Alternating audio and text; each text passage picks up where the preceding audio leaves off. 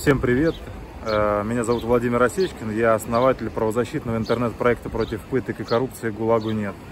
Э, вы знаете, что за последние 9 лет на «ГУЛАГу нет» мной было опубликовано более сотни расследований о конкретных фактах коррупции, пыток, э, вымогательства и совершения других преступлений в отношении заключенных и их родственников. В мае 2019 года на горячую линию ГУЛАГу нет поступило сразу несколько сообщений и от заключенных, и от их родственников, которые сообщали, что в матросской тишине на систематической основе выстроена система по подавлению воли, по оказанию давления на заключенных и по вымогательству у них денежных средств, которые в первую очередь, конечно, уходили коррумпированным сотрудникам СИН и ФСБ.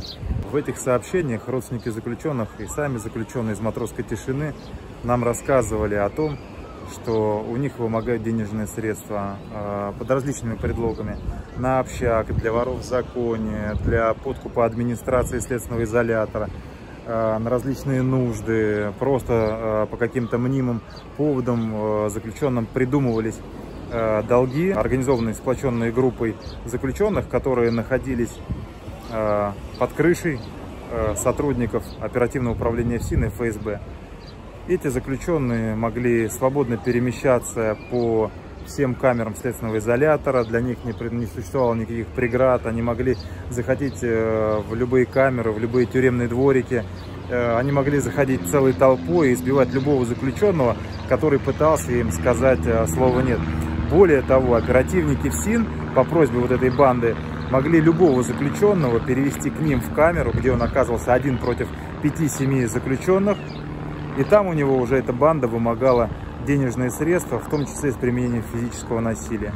Большинство заключенных в матросской тишине, мы все знаем, как работает наша судебная система, это, по сути дела, люди, которым уготовано более 95% отправиться в исправительные колонии на длительные сроки лишения свободы.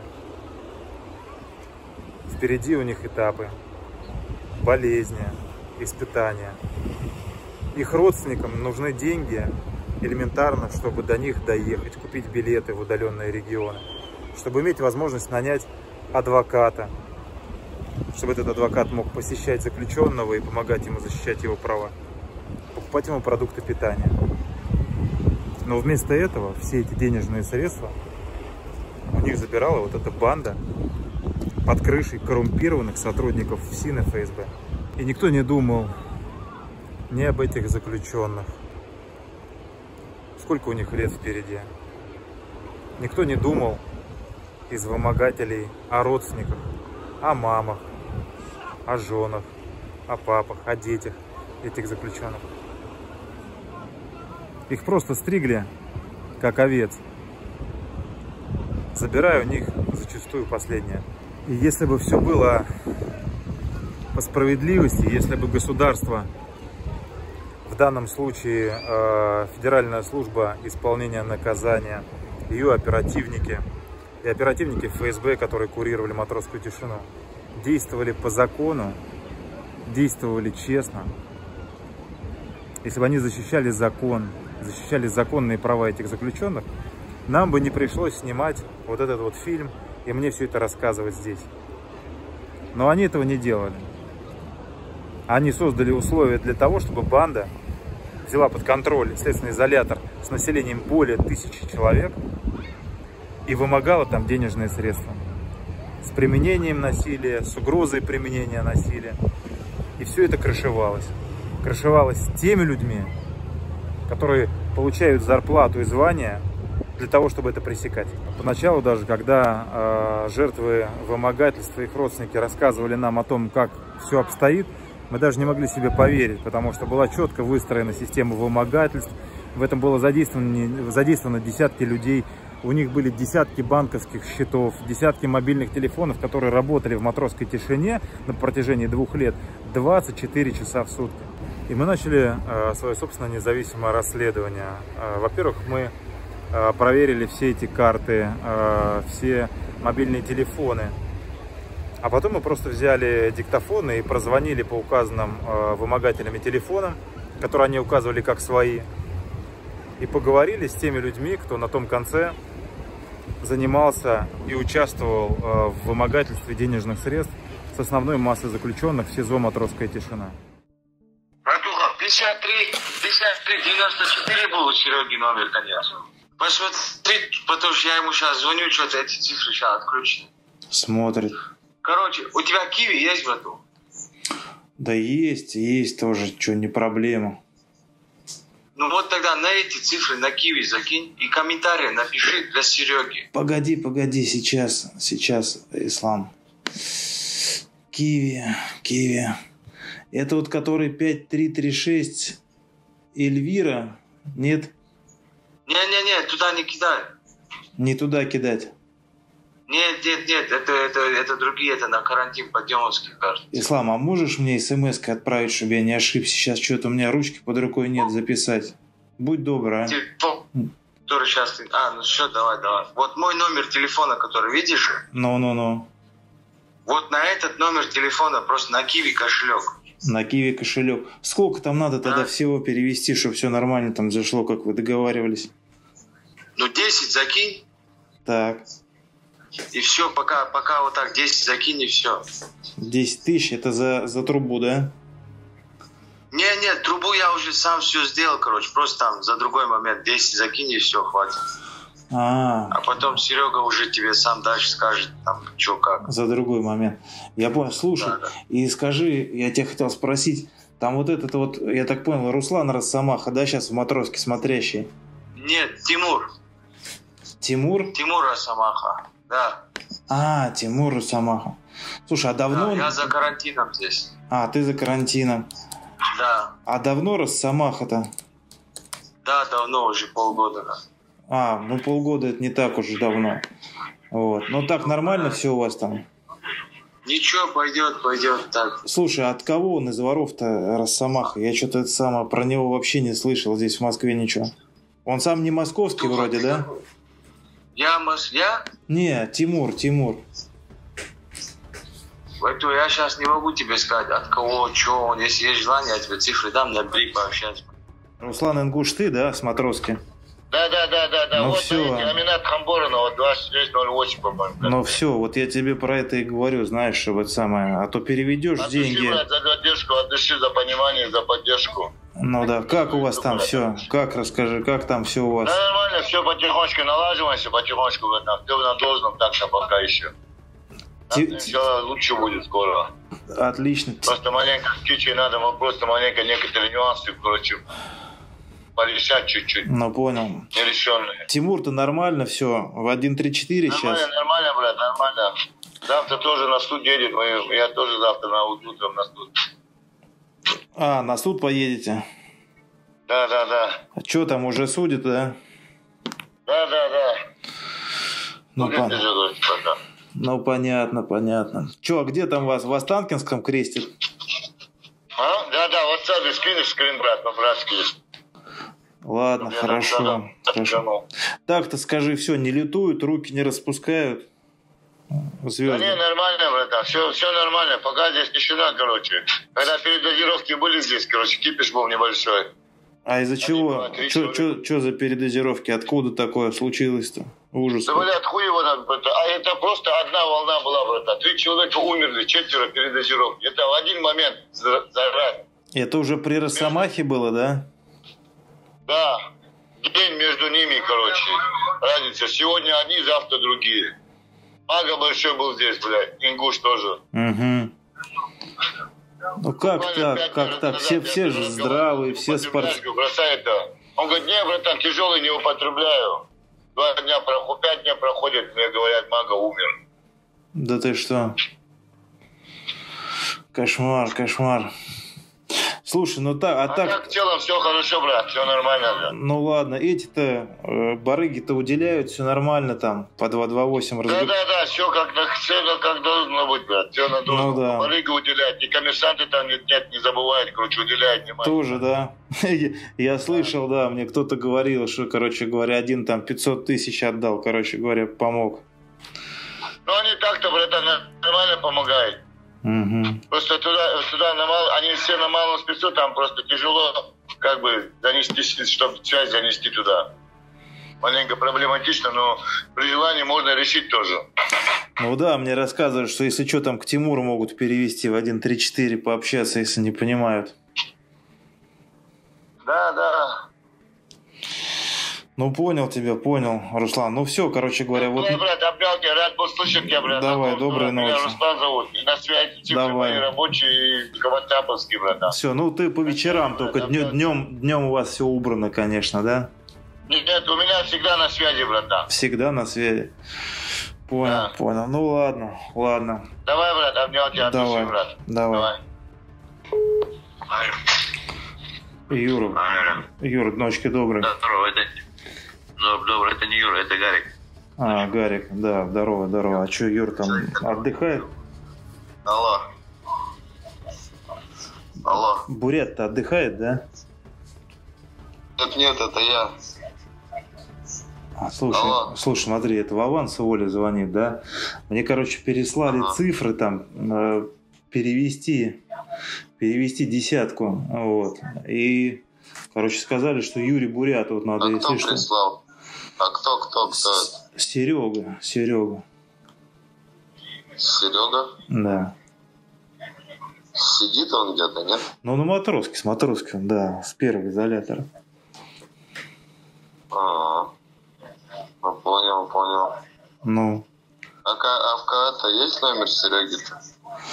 Слушай, я не в курсе, надо самое, я ему шуману, если что, уточню, просто он мне сбросил вот эту вот сберовскую карточку, там 4276 Ага. 3801 6554 1132, сказал, чтобы я перекинул там Наталье Викторовне деньги, а потом на WhatsApp Да. скинул Юрию Буряту, короче говоря, э, вот эту. Да, да, да, ну все хорошо. Сделай так, да, и это, а, вот на эту карту переводи. Ага. и это, скажи Сереге, пусть он на меня зайдет, или мне номер. Ну да, да, да, отпишет тебе, да? Давай, давай. Все, так э, это самое, Бросай трубку, погоди. Алло. Серега. Ой, Серега. Алло. Алло, алло, алло, алло. Алло. алло. Да, да, да. Меня слышно, да, сейчас? Да, Юра, ножки добрые. Слушай, Юра, я, Юра уже трубку мне дал, передал. Слушай, вы там карту написали, пускай Серега позвонит, Юра передал же. Мгм. И карта в конце не 33, а 32. А, 11.32. Последняя вот эта. 11.32. Все, я понял. Да, понял. да, да. Ошиблись, наверное, да? они там. Наверное. Ну, так-то нормально все, держитесь вы там, как, ребят? Да, держится. И Юра попросил, чтобы Серега на него зашел. Вот. Да, не вопрос, не вопрос. Это что, я ему что там это за вот? шуману, шуману. Ну, самое главное, что рабочие цифры, короче, перевести можно будет. Я так понял, там с кем-то договорился, короче, сказал, что сделает.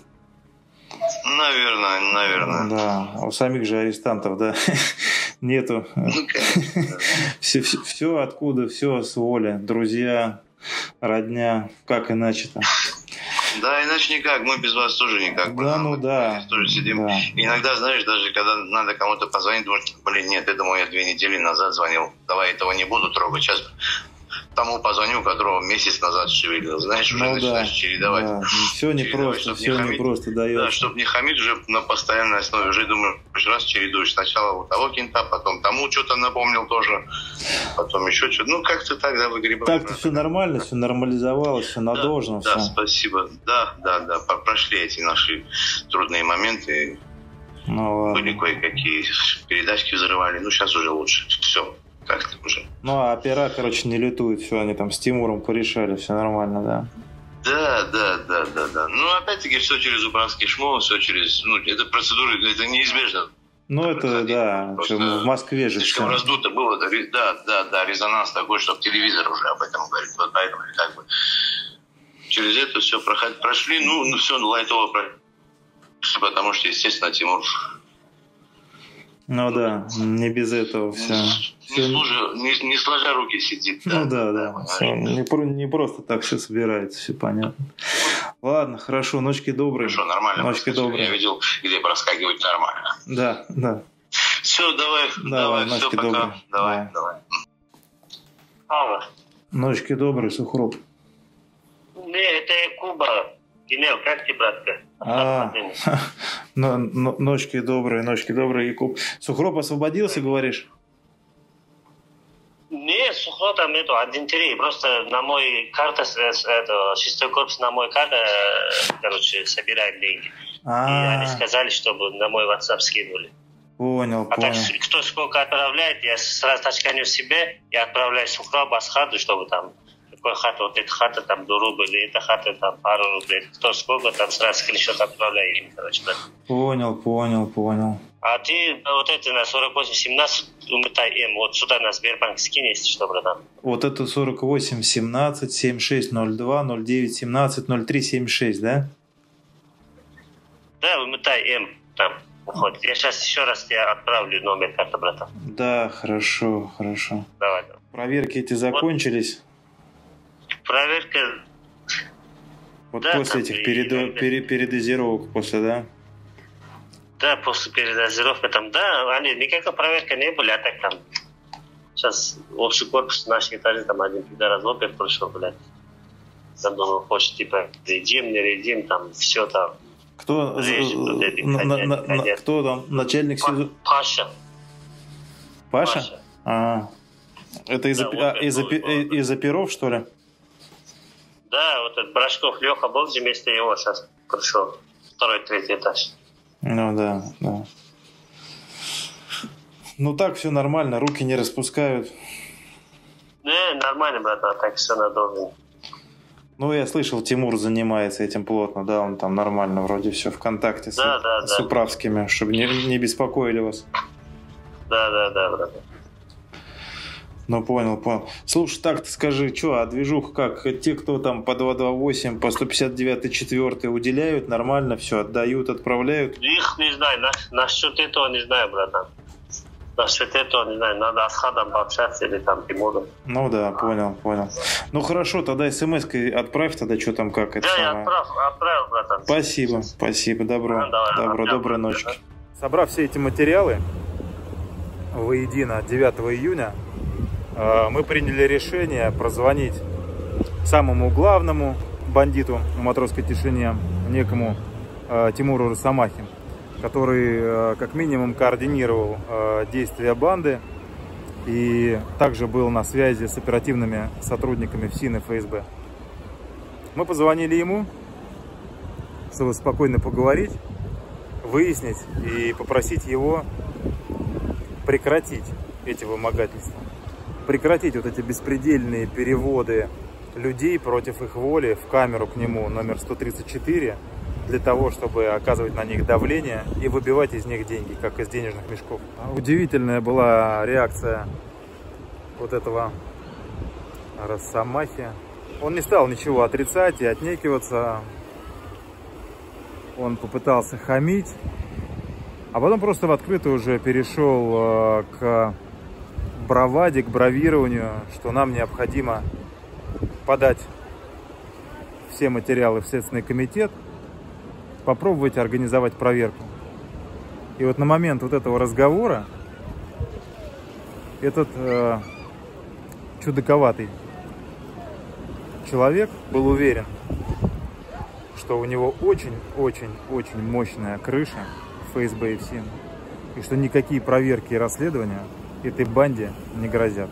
И поэтому в этом фильме сегодня мы э, вам представляем и номера банковских счетов этого УПС, и мобильные телефоны, которыми они пользовались, все эти номера, и записки, которые они рассылали по камерам, получая благодаря этим запискам и угрозам ежегодно десятки миллионов рублей из заключенных их родственников. И по нашей информации, большая часть этих денежных средств передавалась за крышу коррумпированным сотрудникам СИН и ФСБ. А конкретно главному оперативному управлению СИН и Евгению Гнедову и оперативникам управления МФСБ России. Тому самому управлению по контрразведывательному обеспечению Минюста и ФСИН, которые, по идее, должны бороться с коррупцией. Интересно, правда? Да, да. Да, Тимур? Да, да. Ночки добрый, Тимур. Это Росомаха, да, Тимур? Ну да, Росомаха, Тимур. Да, здорово. Привет. Это Владимир Осечкин, за ГУЛАГу нет, тебя беспокоит. Откуда? ГУЛАГу нет, может, слышал сайт по защите прав заключенных. Ну, и? Не слышал, да, пока? Ну, А ты первоход, что ли? ну и что? Ну что, ну и что? Ну я просто тебе говорю, не был ты в зоне еще пока, да?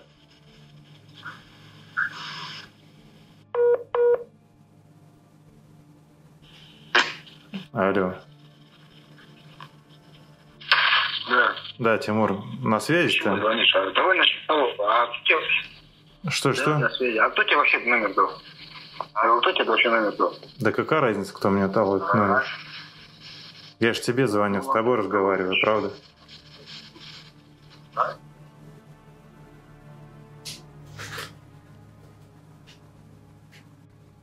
Я тебя слушал внимательно. Да, Тимур, ты, да? Ну, допустим, говори, я внимательно слушаю. Слушай, так что допустим-то? Ну, Я сейчас с кем разговариваю? Мне надо с Тимуром ну, ты поговорить. говори. С Тимуром ты говоришь. С Тимуром. Да. Слушай, расскажи, пожалуйста, дружище, что там у вас Пожалуйста. происходит? У кого у вас? Ну, в первом изоляторе. Не знаю. А что там происходит? Ну вот смотри, ситуация какая, да? А ну-ка. К нам документы поступили. Ну, достаточно Да, я же тебе объяснил. Ага. ГУЛАГу нет. Ты, наверное, слышал, да? Ага. Дальше. А вот смотри, да? Ага. Значит, э, ну, ты не ага, ты послушай внимательно, потому что я серьезно тебе вещь говорю. Значит, поступили... Э, Что? Да неужели? Насколько серьезный? Ну, я думаю, что серьезно, серьезно. Ну смотри, да, слушай, ты меня, друг мой, берешь вот эти документы, нахуй, идешь в СК, блядь, нахуй. Понял? Идешь в СК, нахуй. Или в прокуратуру, блядь. Мгм. Соответствующим образом, нахуй, подаешь документы, блядь. И дальше идет разбирательство. Вот и все. Вот так вот, да? Конечно. То есть советуешь, советуешь все эти материалы направить в СК, Я да? тебе не советую. Я тебе не советую. Так ты только сейчас мне сказал идти Маш, подавать документы в СК. Ты обязан, ты обязан, ты обязан, блядь. Это твое прямое обязательство. Какое прямое обязательство? Ты гонишь, что ли? Пойти и удостоверить соответствующие органы. блядь. Слушай, я сейчас точно с Тимуром разговариваю, с Росомахой, Конечно. да? Не с начальником оперчасти первого изолятора. Молодой человек. Да, да, да, давай. Вот вы предоставьте, и будем Ну, разбираться. а, Послушай, да, вот теперь, да, теперь послушай меня, я тебе просто хочу один вопрос задать. Я же тебе звоню э, не поерничать с тобой, а задать тебе вопрос спокойно. Смотри, Ага. Ага. Смотрю. вот из этих документов следует, что в следственном изоляторе номер один, где ты там, Ага. Так называемый смотрящий, Ага. А это кто такой? не знаю, не знаю, тебе виднее, тебе Что виднее, такое?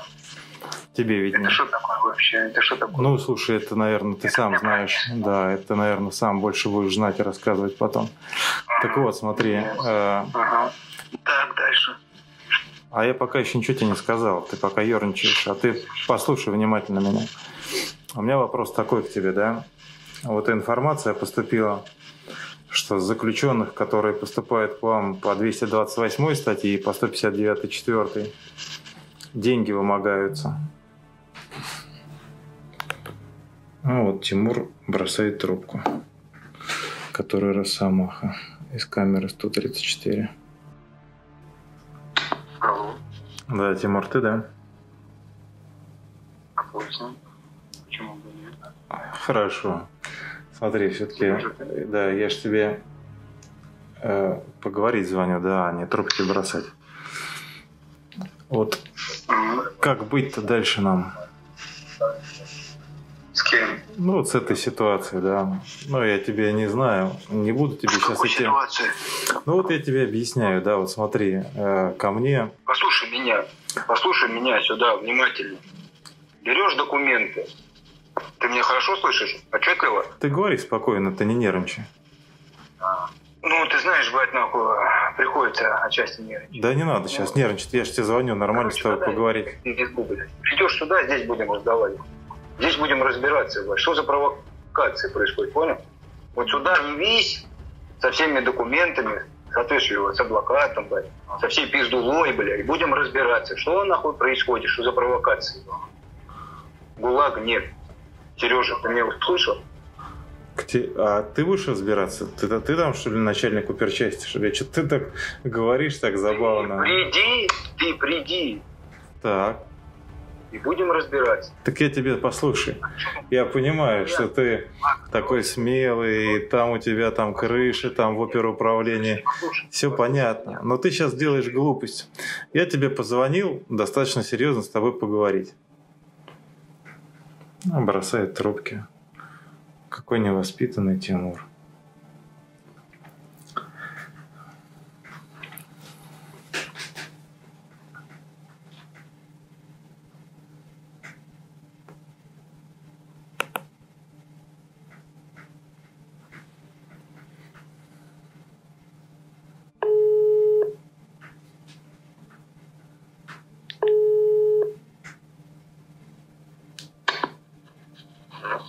Тимур, ну что ты все время трубки бросаешь, а, как ребенок?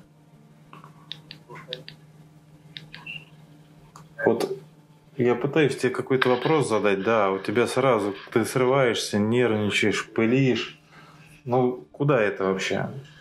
Ну, куда? Просто вообще не понимаю, о чем речь идет. Ну, даже... Так я тебе пытаюсь объяснить, а ты мне сразу, ты не выслушал, ты сразу куда-то уже там в СК какие-то проверки собираешься проводить.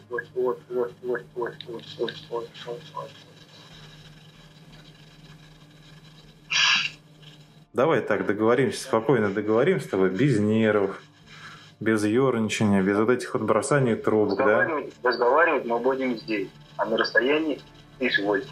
Нам говорить не нечего. Ни о чем.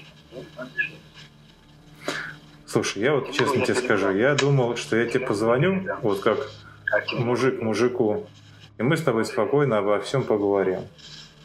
А ты сразу про какие-то там проверки, про расследования. И поговорим. Все, пока. Давай, давай, давай, давай. Обнимайте крепко, крепко. Все, пока, пока, пока. Зря ты так нервничаешь, зря, зря. Это какое-то такое поведение. Ну что ж, будем тогда направлять материалы, как попросил Тимур. Возможно, кто-то до конца не понимая сути, сейчас здесь ниже в комментариях напишет, вот, вы публикуете, что-то там ухудшится и так далее. Все это чушь. Все это чушь. Там люди не контролировали свою судьбу. Там, еще раз повторю, существовал определенный костяк банды, которая вместе с коррумпированными сотрудниками из людей выбивала денежные средства. И манипулировала так называемыми понятиями и так далее, просто для личного обогащения, для создания комфортной жизни себе, для нечестного заработка и для обеспечения богатства коррумпированным полковникам и генералам ФСИН и ФСБ. Еще раз подчеркну, все это продолжалось на протяжении более двух лет. А теперь обратите внимание на даты. Мы подали заявление э, 9, 10 и 11 июня 2019 года. Более года материалы об УПС в матросской тишине, о систематических вымогательствах, о коррупции волокитились. И волокители это сотрудники управления МФСБ и сотрудники Главного оперативного управления ФСИН России. Это тоже, кстати говоря, факт коррупции. И только после того, как пришел новый прокурор в Москву, Денис Попов, только после того, как э, в Генпрокуратуру пришел Игорь Краснов, и я написал повторно в марте и в мае несколько э, обоснованных мотивированных жалоб, вот только после этого все вот эти незаконные отказы в возбуждении уголовных дел были отменены, и только более года спустя, после 12 месяцев волокиты, были возбуждены уголовные дела и по фактам коррупции, по фактам взяток и по фактам вымогательства денежных средств у заключенных и их родственников в СИЗО-1 «Матросская тишина». Также вам известно, что 31 мая 2020 года в прогулочном дворике «Матросская тишина» был жестоко избит Петр Турлаев. А, избивали его члены ОПГ по а, договоренности и при поддержке сотрудников СИЗО, которые их туда завели в прогулочный дворик. А, Петру Турлаеву они сломали челюстно-лицевые кости более чем в 10 местах. Человека оставили глубоким инвалидом и поставили под угрозу его жизнь. Вот этого всего могло и не быть. Если бы ФСИН и ФСБ реагировали на наши публикации и наводили порядок в системе. Я лично знаком с Анатолием Рудом. Я прекрасно знаю, что и Толя Рудый, и Евгений Гнедов внимательно читают «ГУЛАГу нет» и мои публикации. И они достоверно знали о том, что мы знаем, и о том, что опубликовано по фактам коррупции и вымогательств в «Матросской тишине» еще в июне и июле 2019 года. И более года два эти генерала, которые курировали оперативные службы ФСИН, блокировали нормальную деятельность работы оперативных служб ФСИН России. И вместо того, чтобы пресекать вымогательство в матросской тишине и в целом ряде других учреждений, они создавали условия для этих вымогательств, и, очевидно, не бесплатно. И вместо нормальной деятельности они принуждали оперативников заниматься сбором какой-то фальши и компромата против нас, правозащитников. Очень важно чтобы и прокуратура, и Следственный комитет, и новый руководитель ФСИН провели очень тщательное расследование и привлекли не каких-то стрелочников и двух-трех оперативников матросской тишины, а изобличили всю эту систему пыток, подавления воли и вымогательства денежных средств. Очень важно, чтобы во всех учреждениях СИН наконец навели порядок, чтобы более никакие бандиты под крышами коррумпированных оперативников не занимались систематически вымогательством денежных средств у заключенных и их родственников. Оставьте родственников, жен, мам, родителей и детей в покое. У них достаточно проблем. Им нужно содержать дом, нанимать адвокатов и возить продукты питания. Перестаньте у людей забирать последнее.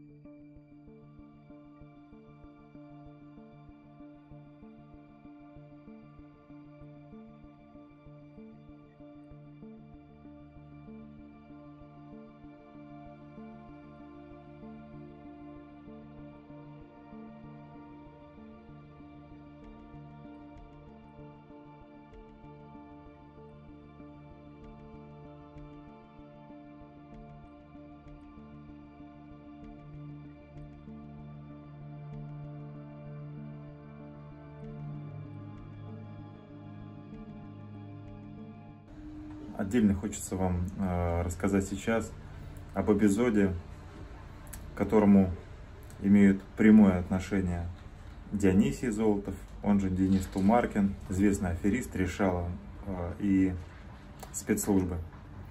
18 марта 2017 года в камере следственного изолятора номер 5, водный стадион, в туалете, в луже крови был обнаружен экс-глава Роскосмоса Владимир Евдокимов.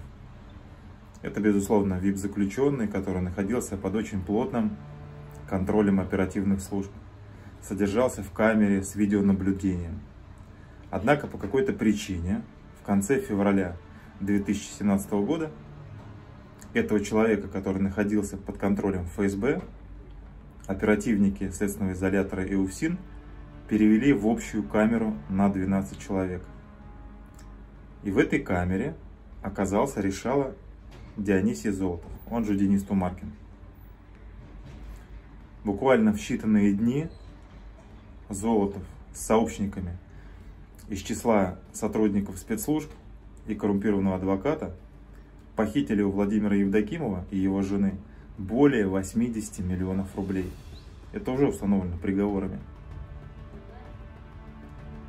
Эти решалы и мошенники, получив эти деньги, обещали освободить 24 марта Владимира Евдокимова из СИЗО. Но буквально за неделю до назначенного срока освобождения Владимира Евдокимова убили. Несколько ножевых ранений в области сердца и перерезанное горло. Сам заключенный себе нанести подобное не мог. Тем более никакого смысла у него этого делать не было. Он заплатил 80 миллионов рублей, и он ждал скорейшего освобождения. Он верил в то, что его освободят.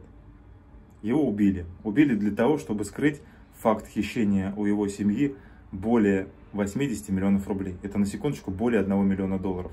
Но этот фильм у нас про матросскую тишину. И, собственно говоря, о чем я? Да о том, что после того, как Владимира Евдокимова убили в камере водного стадиона, его сокамерника, человека, который соучаствовал в хищении у него более миллиона долларов, Дионисия Золотова, перевели в матросскую тишину. Нет, нет, его не прессовали. Ему создали VIP-условия. Ему дали ход, возможность свободно перемещаться по следственному изолятору. Он находился в тесном контакте с ФСБ и с оперативниками матросской тишины и ФСИН. И на часть из похищенного этот человек отремонтировал, сделал себе вип-камеру с подвесным унитазом. И после того, как убили Владимира Евдокимова, мы начали проводить э, свое общественное расследование. Я об этом написал несколько заявлений по факту убийства, потому что мы уже понимали на тот момент из наших источников, что были и хищения, и убийства Владимира Евдокимова э, непосредственно агентами э, спецслужб, не без участия, конечно же, здесь в СИН и ФСБ. И по нашей просьбе, по нашей просьбе, члену НК Москвы Денис Набиулин отслеживал судьбу сокамерников э, Владимира Евдокимова. И Денис Набиулин в матросской тишине обнаружил вот этого Дионисия Золотого, который свободно перемещался по СИЗО, пользовался спокойно мобильными телефонами. То есть человек, который причастен был к хищению 80 миллионов рублей Владимира Евдокимова, и, возможно, и вероятно, причастен к его убийству в камере водного стадиона, чувствовал себя вольготно а, в столичных следственных изоляторах и в том числе в матросской тишине. Более того, совместно с администрацией СИЗО «Матросская тишина» Дионисий Золотов себе а, делал вип-камеру. И что самое удивительное, после того, как Денис а, Набиулин узнал эту информацию и начал ее нам передавать частями, осторожно, опасаясь э, какой-то мести со стороны спецслужб. Буквально в считанные дни Денис Набиулин был в конце 2017 года задержан при участии ФСБ, оперативников управления М и самого Дионисия Золотова. То есть еще раз э, подчеркну, правозащитник, член УНК, который э, помог нам вскрыть факты коррупции и убийства заключенного Владимира Евдокимова, сам оказался задержан и в следственном изоляторе, и изолирован и от нас, и от контакта с журналистами. И сделал это ФСБ, крышуя Дионисия Золотова, человека, который причастен к хищению 80 миллионов рублей и, возможно, к убийству Владимира Евдокимова. То есть обратите внимание, что оперативники управления МФСБ сидели практически круглосуточно в матросской тишине, находились там, были на связи с Золотовым. С утра его опрашивали 24 ноября 2017 года. Вечером уже после встречи с членом УНК его опрашивали. То есть фактически они там находились, они работали, они знали, что у Золотова есть мобильные телефоны в камере, которые никто не изымал. Оперативники ФСБ прекрасно понимали, что в этот самый момент и происходит провокация. Оперативники ФСБ понимали, что у Золотова незаконно находятся мобильные телефоны, и что он э, специально созванивается и придумывает какой-то повод для встречи с членом УНК, чтобы передать ему какие-то якобы медицинские документы, а на самом деле передали какие-то меченые деньги. То есть фактически это видео, эти материалы, эти документы подтверждают, что управление МФСБ России контролировало оперативную обстановку в матросской тишине, но их волновали не, многочисленные поборы и вымогательства у предпринимателей, а их волновал только присутствие там члена ВНК Москвы, который находится с нами на связи и старается для нас по крупицам собрать информацию о коррупции, об убийстве Евдокимова и о причастности к этому Дионисия Золотова. И с тех пор, на протяжении нескольких лет, конечно же, опера управления МФСБ прекрасно знали, что на самом деле происходит в матросской тишине. И про вымогательство денежных средств, и про мобильные телефоны, и про коррупцию, и про взятки. Опера управления МФСБ контролировали полностью происходящее а, в СИЗО «Матросская тишина». И это их устраивало. И делали они это не бескорыстно.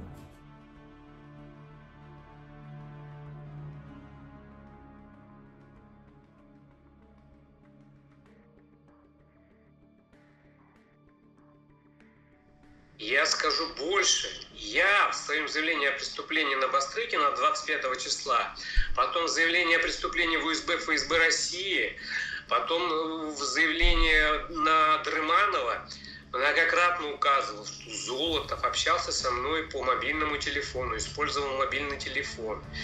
Я указал номер этого мобильного телефона. Я просил многократно, чтобы взяли биллинг по этому мобильному телефону, чтобы было понятно, что базовая станция находится на улице Матросская Тишина. По этому биллингу Золотого можно было выяснить всех лиц, с которыми он по мобильному телефону общался, которые имеют отношение, я так и указывал, которые имеют отношение к правоохранительным органам, будь то ФСБ это или следственный изолятор, э, там было видно. Но так мое ходатайство никто и не удовлетворил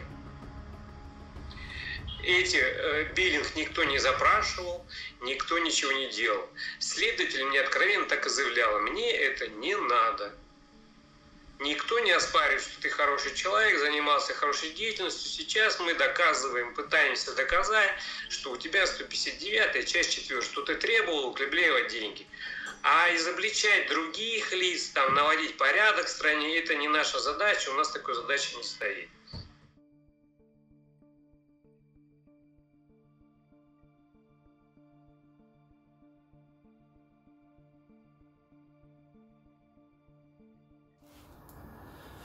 Хочу также рассказать, поделиться с вами, как нас заставляли оказывать э, безвозмездную помощь и благотворительность, гуманитарную помощь на СИЗО.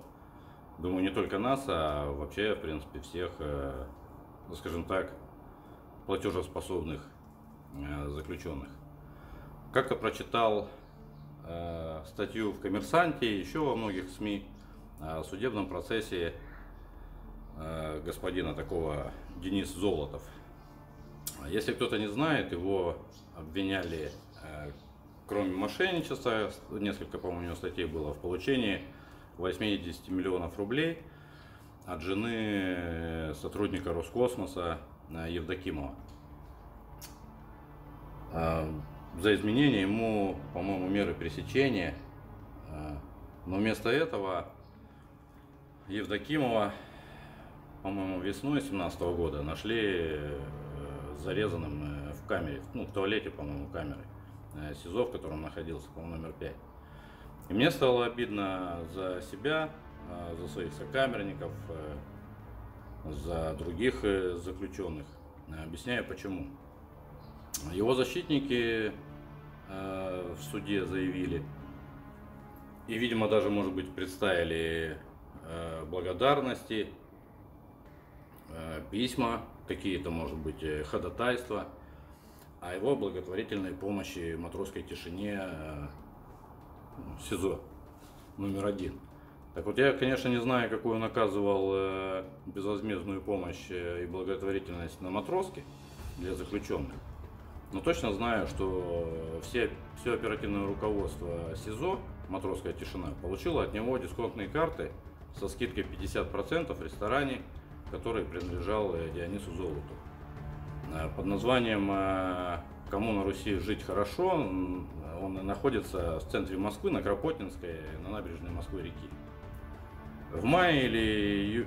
Да, в мае, по-моему, его перевели на матросскую тишину Золотого. я имею в виду. А, поселили рядом со мной в камере 417. Э, соседняя камера, э, потому что я находился в 419. Вот, мы были соседями по камерам. Меня вызвали, привели в оперчасть. Э, когда меня завели в кабинет, ну, рассказываю вам о первой встрече с Золотовым, меня привели в кабинет замначальника, я увидел там человека, ну, пившего кофе, так э, расслабленно сидевший, нога, нога на ногу э, за столом э, с оперативником. Рядом лежали два телефона айфона, то есть причем э, такие последние модели. Я даже не понял э, сначала, что это заключенный. Я подумал, что это либо э, какой-то из оперативных сотрудников, либо это сотрудники, которые приходят там в штатском из, из ФСБ, там из Э, следственных комитетов, ну, с правоохранительных органов. А при моем появлении они попрощались, пожали по-дружески э, руки, и ну, псевдооперативник, ну, то есть я имею в виду, что Золотов, который я подумал, что он оперативник, взял со стола оба мобильные телефоны и вышел. Оставшись в кабинете, настоящий оперативник, э, который там находился, который меня вызвал к себе, сказал мне, что это мой сосед под, э, по камерам, то есть Денис э, Золотов.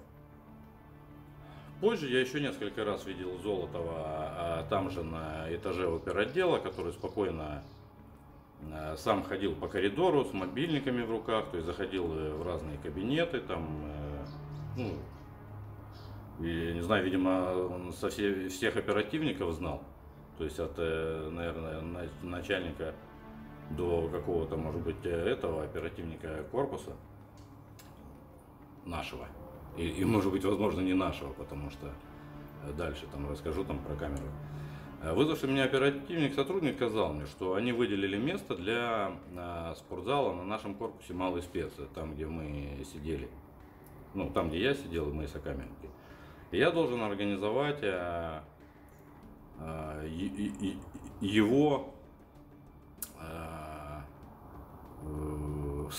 не организовать, создать. То есть, что я должен создать, организовать, то есть закупить э, э, стройматериал, составить смету, смету, список тренажеров подобрать, так как мы, в принципе, занимались спортом, купить стройматериалы, оборудование, душевую кабину, чтобы можно было мыться после тренировки, ну, стиральную машину, чтобы стирать форму, технику, несколько телевизоров, там, ну, создать цивильный современный э, спортзал, скажем так, ну, в рамках того, то есть тех площадей, которые там э, предоставили. Не помню, сколько сейчас э, квадратура, то есть была на это выделена, по-моему, э, что-то чуть больше 20 метров, э, что ли, или по 20 метров.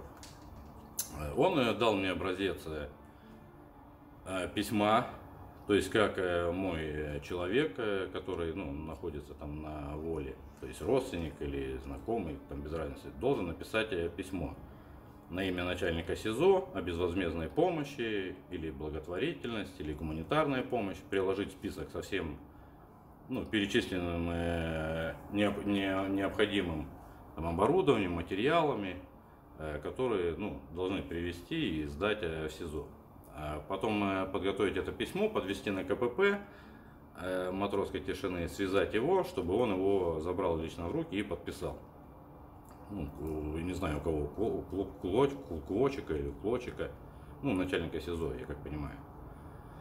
Я и мои сокамерники закупили все для спортзала. А, когда я сообщил оперативнику, что все закуплено, все готово, все лежит, осталось только это все привезти э, на матроску и доставить, Э, то он мне э, сказал э, следующее. Подождите, это еще не все. Ну, думаю, удивился, может быть, мы что-то ну, не совсем правильно составили, может быть, может, там еще пожелания, потому что сотрудники там тоже были спортивные, то есть занимались силовыми упражнениями, то есть и ходили в качалку, насколько я знаю, то есть где-то, ну, извне. Вот. Один из моих сокамерников был Э, строителем и профессионалом. То есть он хорошо разбирался, то есть он прошел путь там от, э, видимо, просто рабочего, э, прораба до руководителя крупных там строительной компаний. Вот. Его отвели, показали э, ему 4 камеры. То есть э, 273, 274, 275, 276, насколько я, я помню, то есть точно. Ну, может быть, последовательность там плюс-минус в одну или в ту сторону. То есть не помню. Сказали, что он должен, не суть.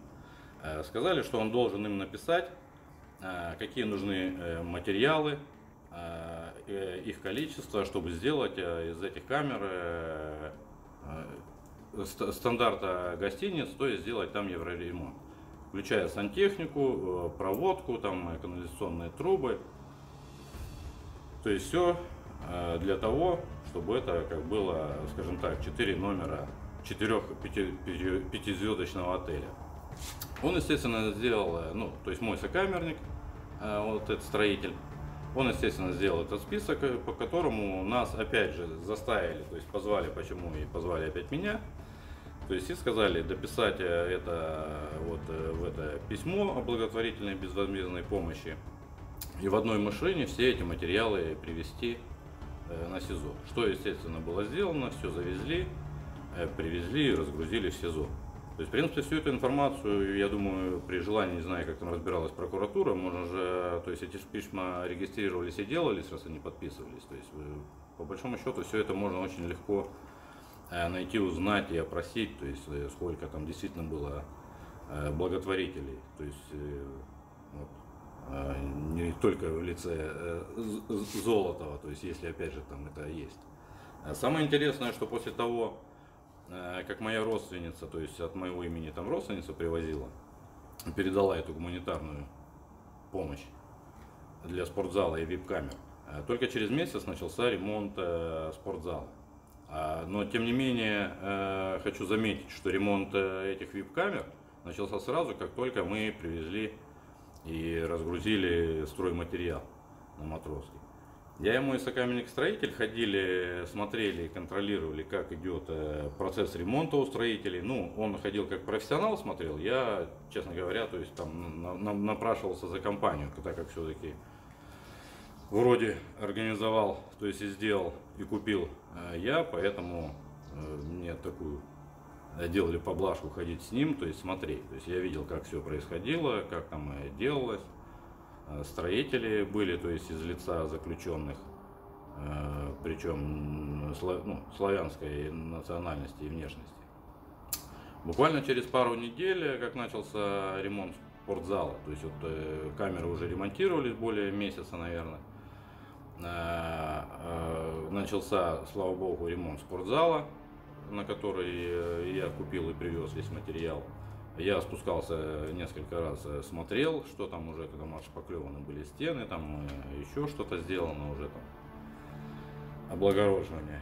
И оператив, оперативники СИЗО почему-то вдруг, то есть заказывают с меня вещами и меня отправляют отбывать наказание, потому что меня уже в тот момент у меня был суд в июле, то есть я уже был осужден, меня отправляют в ВК-2 Владимирской области, город Покров, в экспериментальную колонию для террористов и экстремистов на особо строгий режим. Видимо, за, за мою благотворительную помощь матросской тишине. Также моего сокамерника, я знаю, то есть заставили по такой же схеме, там, ну, письмо безвозмездной помощи, о гуманитарной помощи якобы. То есть купить строительные материалы и оборудовать комнату для психически нездоровых людей, душевно больных. Ну, как вот специально там в психобольницах делают с покрытием мягких стен. То есть для того, чтобы человек, видимо, там мог не разбиться, ни там, головой не ударяться, либо еще что-то. Ну, мой сокамерник, естественно, также выполнил это, это требование, этот приказ, скажем так. То есть его родственник привез целую газель с этими материалами. И точно так же это все разгрузили на матроске. То есть тоже оформление документов, письма. Поэтому я не знаю, к чему мое замечание по поводу именно Дениса Золода, вот этих всех заявлений. То есть мне, к сожалению, никто благодарственные письма не выдал. То есть э, мой адвокат, э, может быть, потому что он э, не так был хорош, то есть об этом тоже они озвучивали, либо потому что в этот момент, что я уже был, когда происходил покупка и привозка материала, у меня уже был суд, может быть, опоздали, я не знаю. Но я же говорю, то есть то, что получил я за свою благотворительность, это отправку вместо общего режима, который у меня был, на особо строгий режим. Поэтому не знаю, какой благотворительностью занимался на матросской тишине Дионис Золотов, но вип-камеру, камеру, вип-камеры, 4 камеры там было на тот момент, а, спортзал, то есть вип-камера, тем более, в которой жил э, сам Дионис Золотов, потом, насколько я там уже узнал, что он э, переехал позже, то есть закончили ремонт, когда меня уже отправили э, на Владимир, а он туда переехал, то есть закончился ремонт. То есть спортзал, которым, э, видимо, Дионис Золотов тоже успел э, позаниматься, в отличие от меня. То есть э, сделаны и отремонтированы были на мои деньги и моих сокамерников.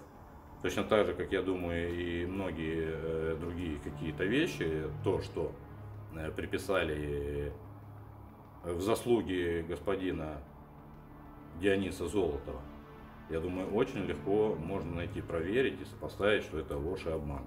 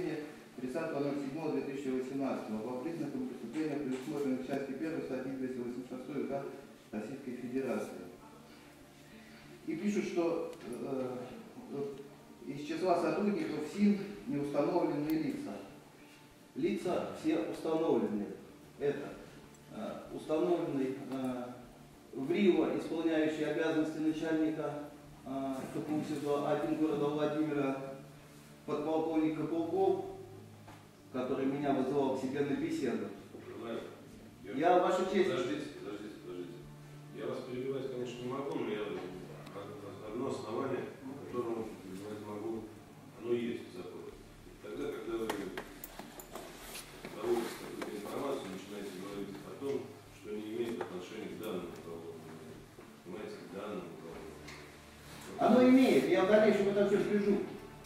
Все имеет. Давайте вы сначала свяжите, а потом... А меня так не получится. Ваша честь, Пока я связь... Я говорю, вы, вы записываете. Это для истории, для дальнейшего. Это для того, что когда вот этих лиц возьмут привлекать, работников ГУРа, потом работников СКЕ, в дальнейшем, возможно, меня уже не будет после этих Как они сказали, что э, справка о твоей смерти нам будет э, гораздо лучше подтверждать все. Так вот, когда будет справка о моей смерти, пусть мои вот эти показания в суде подтвердят их невиновность ко всем преступлениям, в которых еще их пока не обвиняют. Но я уверен, что еще пройдет чуть-чуть времени, и они окажутся здесь. И даже, может быть, вы их будете и судить. Может быть. Он ходил и он угрожал, что мы поедем, поедем ну, туда, туда, отбывать наказание. Вот, непосредственно подполковник Копылков, э, время исполняющий обязанности ЧУКУ СИЗО номер один города Владимира. И два оперативных работника Василий и Антон. Ну, без фамилий, э, но фамилии, когда занимался, занимался проверкой следователь Степанов, ИА, он действительно установил, что там э, ну, э, были причинены пытки, я был потерпевшим, но ему не разрешили дать код всего этого. И заставили написать, что не было состава преступления. Потом я написал Чайке жалобу, Бастрыкину написал жалобу. На что мне отвечает на мои жалобы кто? Следователь Магомедов, который ведет мое дело непосредственно. То есть их даже никто не стал разбирать мои жалобы. Ну, а Степанов отписался, что нет состава преступления. Я дальше что делаю? Пишу, и снова жалобы и прикладываю постановление о признании меня потерпевшим. На что они а, а, в процессе 24.08.2018 я признан потерпевшим. А 17 17 сентября 2018 года мне делают приговор по убийству Таблагова, Крюкова и Залкевича. На основании даже вот этого я признан потерпевшим, где меня пытают, насильственно мне заставляют э, ну, признать вину в том, чего я не совершал. Мне выносят приговор 19 лет. После они перед апелляционным рассмотрением 30.10.2018 постановление следователя отменяют. Вот. Опять же, незаконно отменяли. То есть я уже не потерпевший. Это говорит все о том, как они сказали, как мне непосредственно сказал Кузин и еще один такой работник УРА Агаев, что мы же это власть, и мы хозяева твоей жизни. Что захотим, то и сделаем. Ну, потому что у нас непосредственный начальник сейчас встречается с Путиным. То есть мы все, что захотим, то и делаем. Вот. И я это все говорю к тому, что в дальнейшем, вот как он сказал, что наши путевки сейчас со сроком поедут Карелия, Тверь, Мордовия, Хакасия, Владимир, Киров, Красноярск. Вот. Я хочу заявить, если в дальнейшем будут из нас какие-то выбиваться явки, явки, терпеть пыток я не собираюсь. Я буду писать все явки, все, что они захотят и, и считайте все это недействительным. Потому как они сказали, мы на этом останавливаться не будем, это только начало. И за чьи-то грехи я не собираюсь отвечать. Я не совершил ни одного из этих преступлений. Я сказал все. Спасибо за внимание.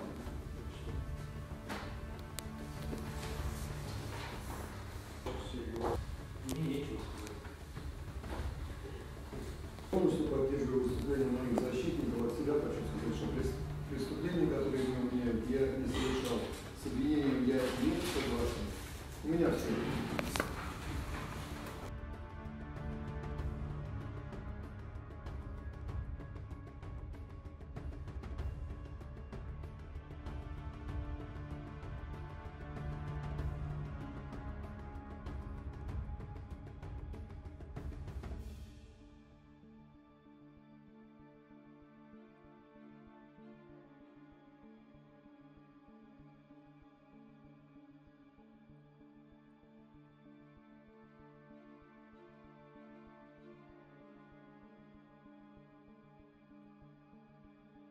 Всем привет! Меня зовут Глеб Дробеленко. Сегодня я расскажу вам о том, как я столкнулся с коррупцией, вымогательством и пытком в учреждениях ФСИН э, России и колонии. Я неизвестный блогер, ни на Юрия Дудя не похож. У меня нет опыта э, работы на камеру. Я заранее прошу меня извинить за то, что буду э, пользоваться какими-то э, записками, э, шпаргалками. Может быть, буду излишне использовать мимику или жесты. Но важно не это, важно рассказать вам все что со мной происходило, всю последовательность с точной хронологией событий и с тем, с чем я столкнулся в СИЗО ИК номер два России. Я предприниматель. И длительное время я инвестировал э, в Россию. Э, был руководителем и учредителем нескольких э, компаний. В настоящее время я живу в Европе и вынужден просить политического убежища в связи с тем, что ранее меня экстрадировали по заказному уголовному делу в Россию, где э, менее чем за два года в российских СИЗО и колонии меня подвергали угрозам, бесчеловеческому обращению, вымогательству денежных средств, жестоким избиениям, э, пыткам. Расскажу обо всем э, кратко и по порядку. С 2012 года я живу в Европе.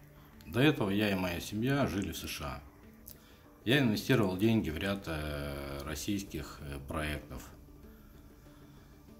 Э, был учредителем, как я уже сказал, нескольких компаний. Причем сфера деятельности довольно разная. Принципиально не платил взятки. У меня не было никаких крыш ни в полиции, ни на Лубянке, ни в администрации Владимира Путина. Именно из-за этого коррумпированные высокопоставленные сотрудники ГУПК МВД России теперь уже на сегодняшний день осуждены за превышение своих должностных полномочий, за фальсификацию доказательств, а, участие в организованном преступном сообществе.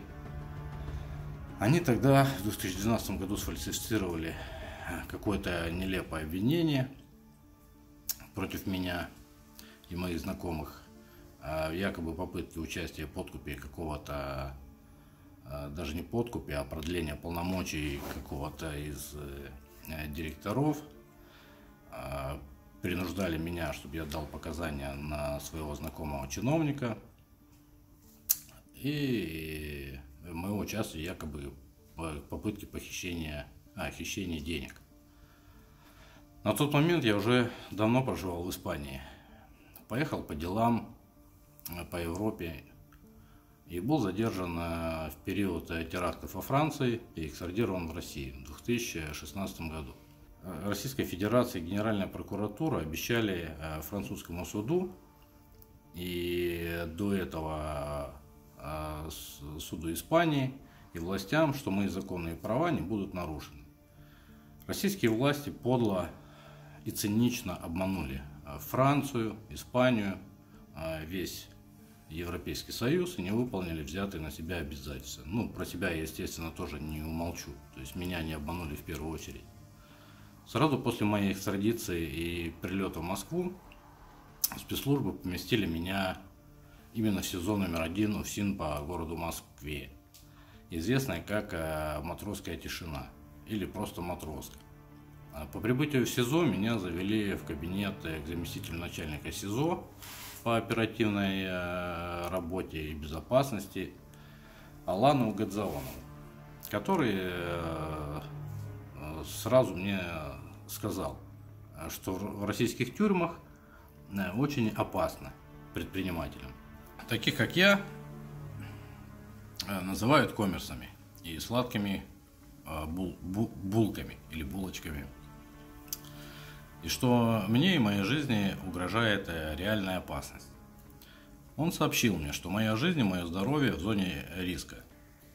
Но если я соглашусь заплатить ему и его коллегам из СИНа 10 миллионов рублей, то они будут э, гарантами моей безопасности.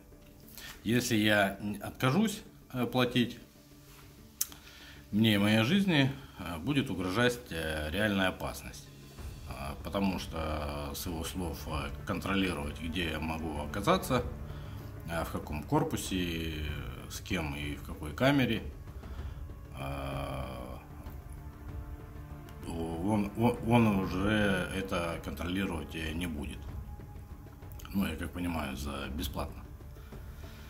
Я ответил Алану Гадзаонову, что у меня, само собой, таких средств, естественно, нету. То есть как-то не привез, забыл с собой захватить из Франции. И чтобы узнать материальное положение моей семьи и дать ответы, мне нужно время. После этого меня перевели э, сначала в одну камеру, э, где смотрящий за, камеру, за камерой ну, чеченской национальности человек сразу дал мне мобильный телефон э, для звонков. Но пояснил, что за безопасность, за пользование мобильной связью мне нужно будет заплатить порядка 150 тысяч рублей. Это было на тот момент около, наверное, двух с половиной тысяч евро, точно, не уже не помню, какой тогда курс был. Примерно через неделю, там через, ну, сколько дней точно, не, не, не буду уточнять, э, меня перевели в другую камеру, э, немножко э, побольше, расположенную в корпусе, ну, в том же корпусе на малом спецу, то есть малый спец. Это такой специальный корпус, скажем так, который оперативники между собой называли сейфом. А, потому что именно в этом спецкорпусе матроски содержат обвиняемых по экономическим э, преступлениям и в сфере предпринимательской деятельности. В эту камеру помимо меня оперативники распределили несколько других предпринимателей, но одни там уже находились, э, другие э, еще там потом подъехали, скажем так, или заехали. Хотя, в принципе, камере было а, как раз полностью 6 человек. Все мы проходили по уголовным делам по части 4 статьи 159 УК РФ «Мошенничество в особо крупном размере» по обвинениям в совершении тяжких экономических преступлений. При этом в эту же камеру, номер 419, оперативники почему-то распределили нарушение статьи номер 33 Федерального закона о содержании под стражей, уже осужденного за вымогательство денежных средств, сопряженное с применением насилия в составе организованной преступной группы по части 3, 163, по-моему, статьи УК. А, сделали это оперативники СИЗО э, осознанно, незаконно и умышленно – Именно этот осужденный, который являлся агентом э, оперативного управления ФСИН, организовал, организовывал на системной основе э, вымогательство денежных средств. У меня, у других моих сокамерников, он, ну, он и оперативники СИЗО рассказали и угрожали Э, нам тем, что если мы не будем выполнять э, их требования, а если мы не будем э, платить им деньги, там отказ от ежемесячных выплат, там как бы взносов, там я не знаю, как их просто назвать, то есть, ну, простонародье просто взяток по 200-300 тысяч рублей с каждого, то они угрожали нам создания конфликтной ситуации с криминальными лидерами, э, переводом э, переполненные э, камеры, то есть на другие корпуса, спецблоки с туберкулезниками, я даже не знаю, как их правильно назвать, спецблоками или... Или это корпуса там, где находятся Э, все больные туберкулезом, гепатитом, э, спидом, то есть э, переполненные камеры, где спят по 2-3 смены, где нету и индивидуального спального места, то есть для ну, каждого человека, которое предусмотрено. Угрожали избиениями, а также угрожали, что специально сделают и выпишут нам нарушение режима. Если будут замечания, то это все отразится у нас, у всех там на э, приговорах, на судах, что будет рассматриваться, что мы не выполняем якобы законные требования и что-либо нарушали. А требования нарушений там можно нарисовать в день, я не знаю, то есть хоть каждый час рисуй.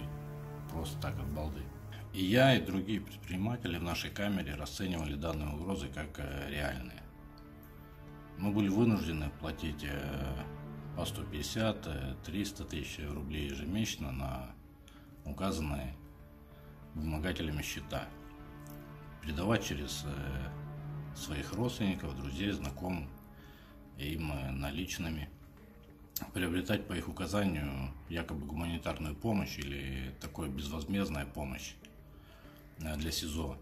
А лично я летом 2017 года э, собирал, закупал э, строительные материалы для создания спортивного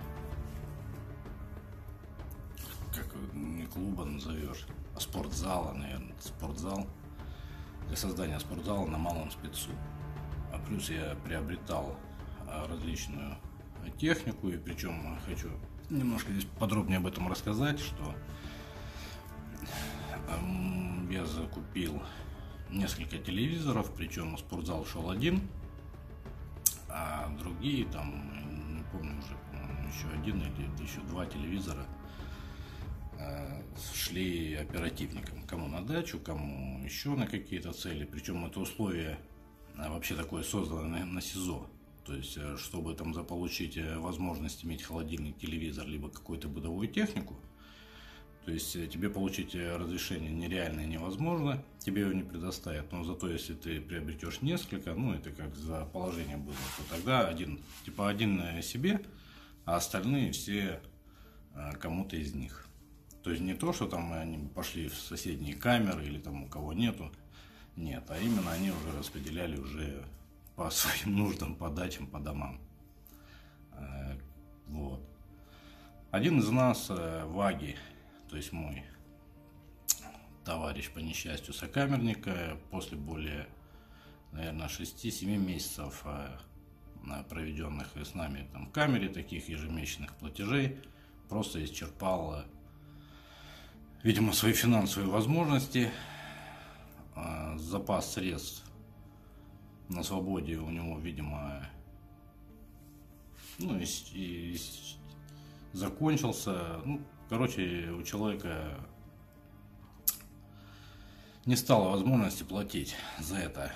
И по объективным причинам, по которым он не смог выплатить вовремя нашим вымогателем, получателем, так сказать. После чего его по личному указу Алан Георгиевича, это замначальника СИЗО по оперативной работе как раз, перевели в так называемую общаковую камеру а, номер 101. Это на общем режиме корпус, где в камере в этой, по-моему, а,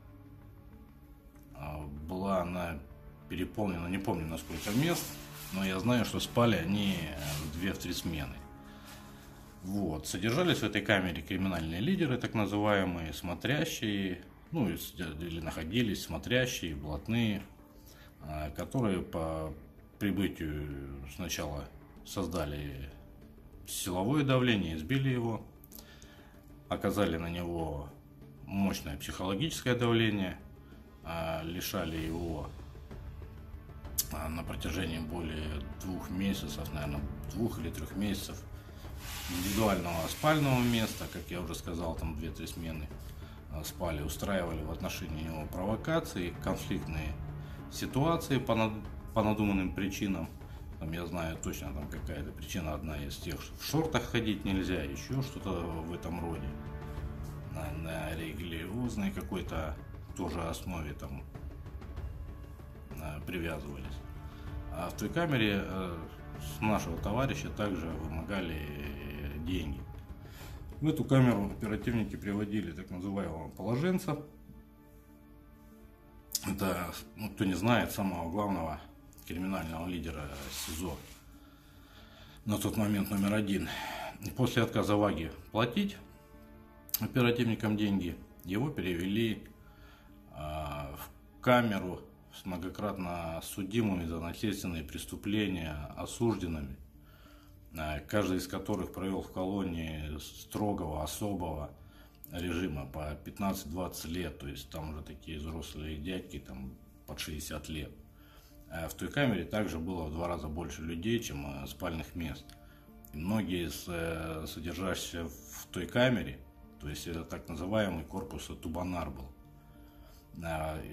который мы больше всего и вообще, в принципе, все его боятся, этот корпус. То есть там э, все люди в камерах в основном Э, болеют туберкулезом, причем различных форм, там открытые, закрытые, э, гепатитом, э, спидом, то есть, ну, всевозможные болезни, поэтому для нас это было самое страшное, потому что это заразиться и, не дай бог, заразить своих близких, родных и сами себя. Фактически, ну, на его примере нам наглядно показали, что нас ждет – в случае отказа об э, ежемесячной э, оплаты. Ну, в принципе, до этого мы, в принципе, знали, то есть, выходя там на следственку, так называемую, это на встречу с адвокатами, со следователями, об этом мы говорили. То есть, в принципе, мы знали, как происходит в других местах. Естественно, то есть нам э, постоянно намекали и угрожали, ну, ставили перед фактом, скажем так, что угрожать. Сказали, не будете платить, вот э, вам пример наглядной сваги. То есть так нам заявляли оперативные сотрудники. Мы понимали, что жаловаться бесполезно. А те, кто вымогали у нас деньги, а, обладали в рамках СИЗО и не только в рамках СИЗО что самое, в принципе, и страшное, безграничной властью. Они приносили своему агенту а, наркотики, спиртные напитки, мобильные телефоны, которые нам выдавались. Ну, нам выдавались, скажем так, мы хотели пообщаться с детьми, с родными, а нам выдавались в основном а, то есть точно так же, чтобы мы могли передавать э, просьбы, как там э, передать деньги вымогателям, как э, они просчитывали там комбинации, тоже все-таки оперативные сотрудники, не дилетанты. То есть как кто там или подъедет, заберет, или как какой-то там счет, карточку, или еще что-то в этом роде.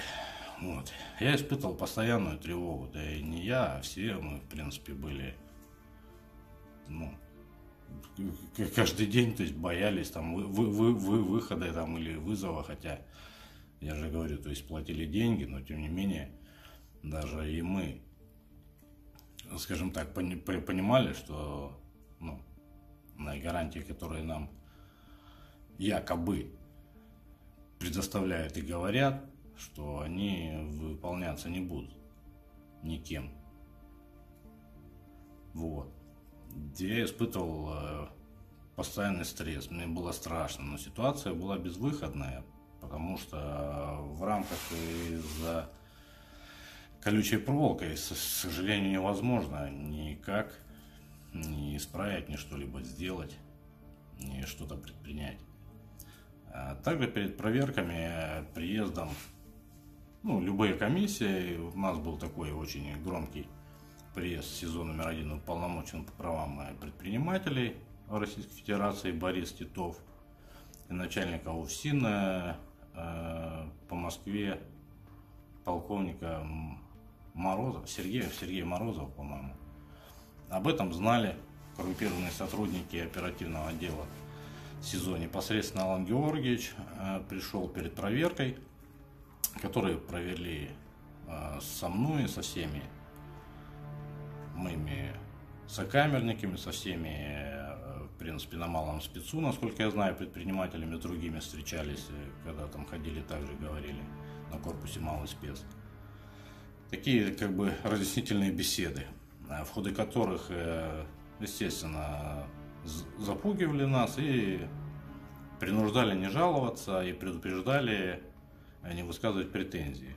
Нам было четко, ясно сказано, что если будет э, задан какой-то неправильный вопрос, либо не соответствующая радостная мимика, либо на что-то пожалуем, то, соответственно, мы сразу окажемся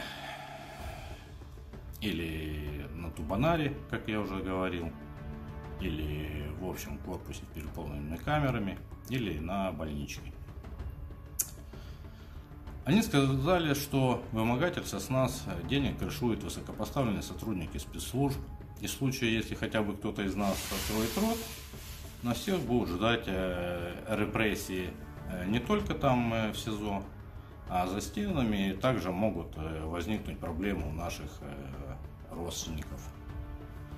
Или у кого работал бизнес в этом ключе.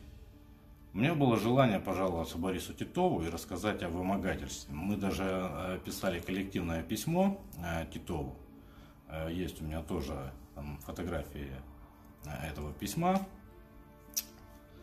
Ну, правда, плохое качество. Вот. Но мы, правда, там не о жалобе, а там по своим, как раз по поводу своих уголовных дел. Вот. Ну, повторюсь, я, у меня было желание пожаловаться Титову, потому что я все-таки надеялся, что дав э, гарантии правительству Франции, что как-то все-таки побояться или как-то все-таки э, испугаются, то есть идти на крайние меры в отношении меня. Но меня по каким-то непонятным причинам вывели из камеры в этот момент, когда приходил Титов в нашу камеру. Меня в ней не было. Мои сокамерники промолчали, выстроились перед ним э, и перед, ну, перед Титом, я имею в виду, и Морозом, по стойке смирно, как в армии. То есть есть об этом э, подтверждающий факт. Это фотографии в «Коммерсанте», в многих и СМИ. Это э, пропиарили, прорекламировали с посещением нашей камеры. Было напечатано много. Это было настоящим лицемерием. А этот э, приход к нам преподносили как якобы защита прав э, предпринимателей. Хотя на самом деле это был фарс э, чистой воды. И в это самое время у меня и таких же, как я, на системной основе коррумпированные влиятельные сотрудники ФСИН просто-напросто вымогали денежные средства в особо крупном размере. Также мне известно, что а, в СИЗО номер один у блатных сотрудничающих э, с оперативниками СИЗО а, была возможность э, беспрепятственно перемещаться ну, по всему СИЗО. То есть заходить э, в камеры другие. Любого можно было перевести из камеры в камеру. А, если нужно было кого-то скажем так, наказать неприлюдно, то заводили специально в прогулочный тюремный дворик, то есть где не было никого, ни народу, там, скажем так, ни свидетелей, где человека могли просто жестоко избить, могли там опустить, могли что-то сделать по указанию оперативников СИЗО. Никакого режима законности не было там и вообще ну, близко. Более того, сотрудники СИЗО и СИН а, снабжали этих э, бандитов, я не знаю как назвать, э, мобильными телефонами, не обыскивали их, когда вводили там, якобы там на прогулку или на следственные органы к себе, там, э, ой, ой, даже это не следственное, а там это этажом, по-моему, выше был, как оперативные комнаты, не знаю как назвать. Вот, создавали условия для массовых вымогательств денежных средств, ну, то есть помогали, способствовали им собирать э, деньги. А в масштабах только одного СИЗО эта мафия вымогала десятками миллионов рублей ежемесячно. Потому что, судя по тому, что посчитать э, камеры нашего малого спеца, то есть и стоимость, которую оплачивали мы, то есть это было ну, я же говорю, или несколько десятков, то есть я думаю, доходило. То есть если взять все СИЗО, то как раз несколько десятков миллионов рублей ежемесячно. Ни один из заключенных не мог э, им противостоять. Э, при том, что СМИ часто э, писали о проверках ОНК а, а, к нам, вот э, за все мое пребывание, а, заглянули, не помню кто точно, несколько человек, то есть ну, заглянули буквально на минуту-полторы. А, просто, я как понимаю, для проформы, то есть заглянули, а, все хорошо, улыбнулись и тут же ушли. То есть никакого вопроса, ни вопросов, ни там на содержание, либо хотя бы просто там ради какого-то уважения от них э, не было. То есть только для создания э, видимости или может быть там галочки они как-то отмечали или ставили себе. Э, ну, то есть видимости наличия общественного контроля, якобы, который происходит. Еще раз повторю, ни я, ни другие заключенные не могли пожаловаться ни ВНК, ни Титову, на вымогательство, угрозы. Э, ну, э, тех, кто пытался жаловаться, жестоко, а потом э, просто карали. И блатные, и оперативники в СИН. Всем привет! Я бы сейчас хотел вам рассказать, что происходит в матросской тишине, сезон номер один Москвы, после того, когда ты перестаешь платить оперативникам в спецкорпусе. Это мало спец был, где я находился. Я перестал платить им деньги. Меня переселили в общий корпус. Условия, конечно же, я рассказывал в прошедшем видео, что там ужасные, что заключенные спят по трое на одной кровати, по двое, там, ну, спокойного отдыха у тебя нету. Тебе это все не дают. Другие люди, чеченцы, дагестанцы, которые там смотрят за камерами. Типа главные в этой камере. Если ты не платишь им, устраивают они тебе там райскую жизнь. Вот, конечно же, они платят дальше оперативникам. Вот.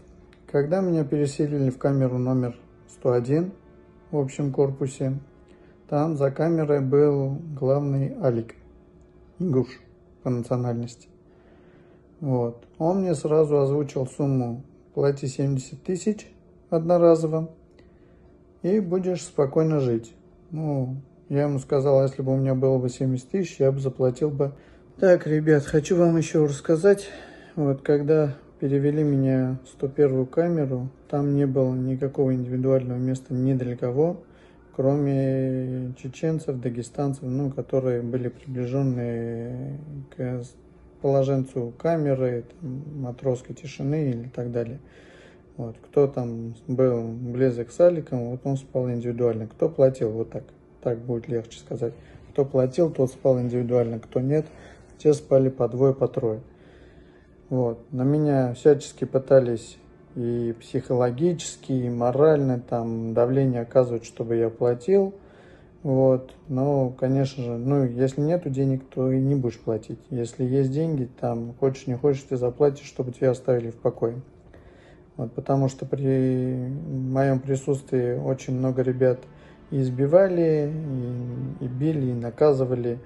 Даже была ситуация, завели одного парня, вот. С самого первого дня его начали со всех сторон чеченцы давить, что вот это так не делай, за это его пощечину дали, за другое ему пощечину дали, за третье, за четвертое.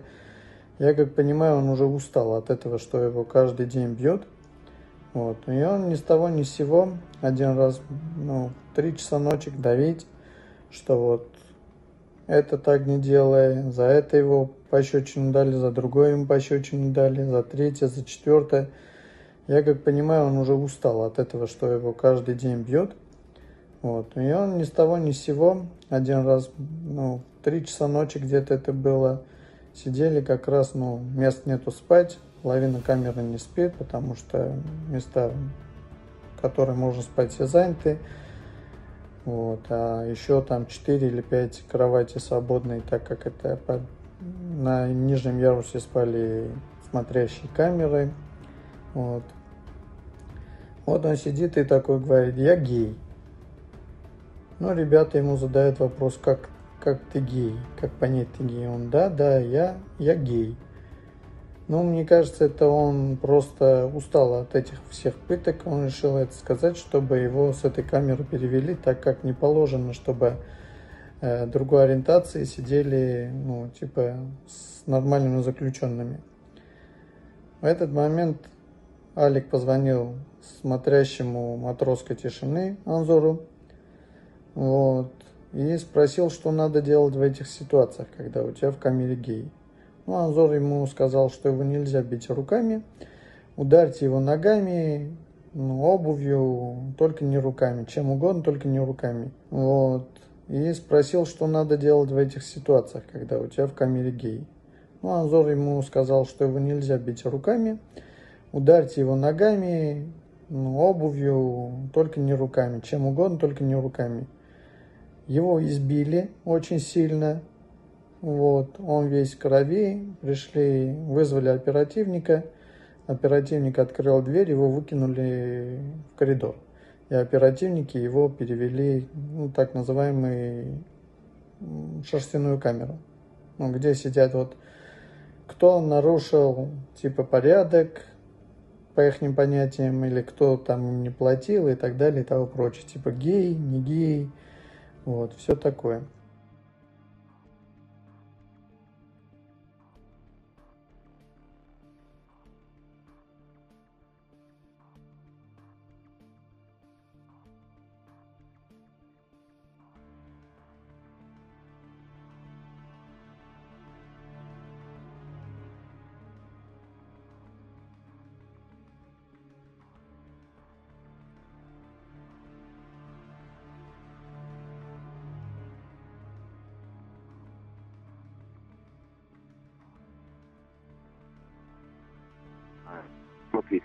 Оказывали давление даже во время следствия все время.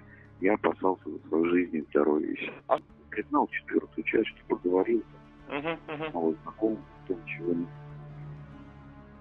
говорит, я говорю, ну это уж не было. Но ты скажешь, мы тебе минимум, домашний, ну все время под домашним. Ну, вот такого плана хотели. Все, с самого начала это было. Это где-то ну, было месяц, может, два, вот так, осенью. Потом все прекратилось. Угу. Угу. же меня перевели. Ну, они, наверное, поняли, что ничего не добиться от вас. Из-за этого, разумеется, все прекратили. Ну, конечно, они меня они меня перевели из одного СИЗО в другое, из Бутырки в Матроску. В Матроске, в Бутырке меня не могли, они давление не получалось. Но сразу плющить. И меня стали кидать по камере. По-разному они сделали так, что передачи мне не доходили вовремя. Угу. И вот ну, создавали, я, я понял. Да, Уют создавали мне, в кавычках, да. Вра, врач ко мне не мог. У меня там с почками проблемы, да, там мочекаменная болезнь. У меня там обострение началось. Врач ко мне неделю не приходил. То есть не оказывали медпомощь, ну, я да. понял. Массово нарушали ваши права в местах заключения. Естественно. И меня поместили в камеру, Вань, расход. Ага. Вань, расход, по-моему. Алло. Да-да-да. Это как он. И э, меня поместили в итоге в где на 13 человек было 6 школ. Ага. Причем она маленькая, и там... Переполненная. Ага. Этих 13... А, а что за камера, номер? Не помните? 311, по-моему. Это Туманар на Матроске. 311. Тубанар еще? То есть Тубанар, да. для больных туберкулезом. А вы сами не болеете, я так понимаю? Нет, там, знаете, этот э, корпус называется там на первом этаже не больные, на втором этаже закрытые формы, на третьем uh-huh. открытые формы. Uh-huh. Я на первом был, и не больные. Но это как-то самые, самые плохие, конечно. Из 13 человек только двое не курили. Ужас. Не курил. Ужас. Я еще. Ну, то есть, не представляете, я круглосуточно сын грамотный. Ну, это вот один из нюансов, я сейчас это вспоминаю, я говорю, они меня опять незаконно из СИЗО перевели. В суде стали следователь меня не переводил, оказывается. Но мы с адвокатом наш документы подтверждающие, что он меня перевел, и они тоже есть. У нас нарушений, которые мы поймали. Поэтому для Страсбурга, ну, мне уже тогда оказывалось давление. Я об этом в прокуратуру в том числе писал, что ко мне сотрудники э, из то ли ФСБ, то ли ГБ, Я обращался даже в прокуратуру с э, заявлением. И, то есть это у меня тоже есть. Uh-huh. Это, это определенные есть uh-huh. и так далее. То есть поэтому то, что я как бы вот на меня оказывалось давление, я даже в рамках нашего законодательства об этом везде кричал и говорил. Ну, где только мог. То мой адвокат в этом плане везде жаловал. Поэтому у меня даже все это зафиксировано, все жалобы. У меня там более на тот период, наверное, больше десяти там жалоб было подано. Он таких конкретных. Я реально понимаю, на меня уже оказывалось давление. Сказать, ну это не самые приятные люди э, для общения. Ну, то есть, как бы, я там, не знаю, я, конечно, не кремень, там, не не камень, но у меня есть какие-то понятия совести, чести и порядочности. Я их придерживаюсь. Ну, конечно, просто в какой-то момент мне сказали, что если я не признаюсь, я получу 6-7 лет Челябинск и то не выйду никогда. Ну, то есть мне сказали, uh-huh, uh-huh. или признаешься, или 6-7 лет я лагерей.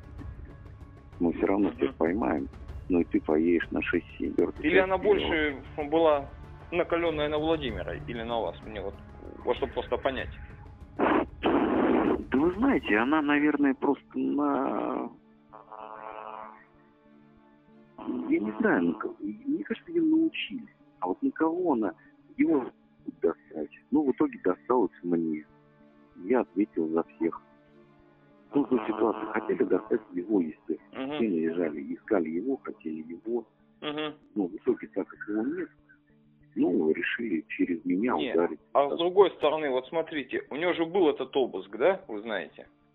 А, у да, вас же, по-моему, был в один день, по-моему, даже был, да, правильно? Да, и у меня был обыск, да, и у да. него был обыск, да. Да, но если бы им надо было, они бы его бы также бы взяли, задержали бы, да, там, ну, как у вас. А меня никто на обыске не задержал.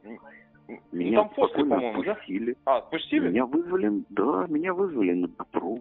Ага. Я спокойно сам приехал на допрос. Меня даже не, не конвоировали, они даже... Ага. Они бы, хоть не след, то, что они смогли не дать. Они мне, мне просто давали возможность, чтобы я сбежал, чтобы меня где-нибудь на полдороги поймать. Я думаю, у них такая мысля была, что я сейчас буду... Ну, то есть, изначально ну, я им вообще был не нужен. Я им был нужен как, ну, человек, который даст каких показаний, что кого-то оговорить. Ну, не будем говорить, кого, да, ну, ну да. говорить. У них это тоже не вышло. Из-за этого они меня стирачили. Вот и все. Ну, понятно. Вот я Здесь чисто принципиально, я так понял, там не сколько вы им были интересны, а сколько другой человек, да. Конечно. Не, в принципе, конечно. ну, все так и говорили примерно.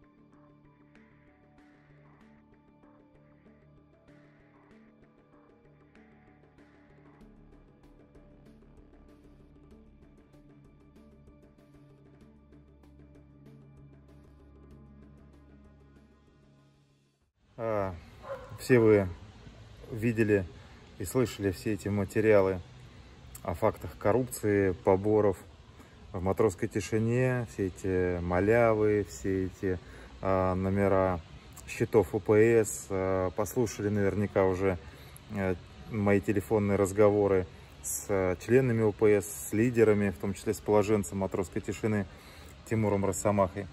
То есть вы уже убедились в фактурах. А теперь, смотрите, я вам э, покажу просто наглядный пример того, как беззастенчиво э, сотрудники ФСБ и Главного оперативного управления ФСИН России меняют суть человека, как они из э, нормальных правозащитников делают каких-то чертей, агентов без совести и чести.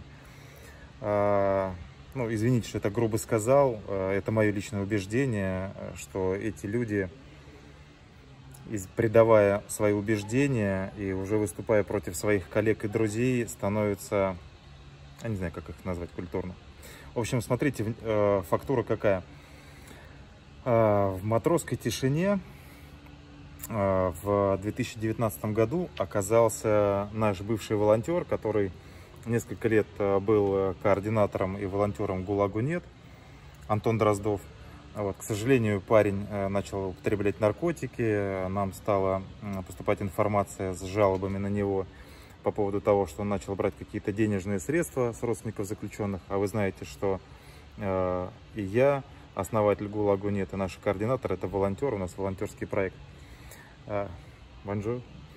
Э, так вот, и получилась э, очень интересная ситуация, когда вот этот человек, которого мы э, выгнали из проекта в 2016 году за наркоманию, в 2019 году, собственно говоря, за эти же самые наркотики он оказался в матросской тишине. Я так думаю, что именно в Матроске Антон Дроздов столкнулся с вымогательством денежных средств, потому что там было поставлено на поток вымогательства денежных средств и с мошенников, и с э, людей, которые торгуют наркотиками, распространяют наркотики. А так как, в принципе, видимо, и тем, и тем, к сожалению, последние несколько лет занимался Антон Дроздов, я думаю, что он попал в поле зрения вымогателей. А дальше произошло следующее. Э, он обратился к нашим координаторам и, и э, мне на электронную почту. Он отправил э, снимки, фотографии маляв из матросской тишины. И, собственно говоря, сказал, в каких камерах находится положение, смотрящие, как они занимаются уже вымогательствами. Я думаю, что, наверное, он опасался, что рано или поздно его переведут в камеру к ним и будут с него вымогать Э, денежные средства, там, за барыжничество, я не знаю, там, или еще за что-то.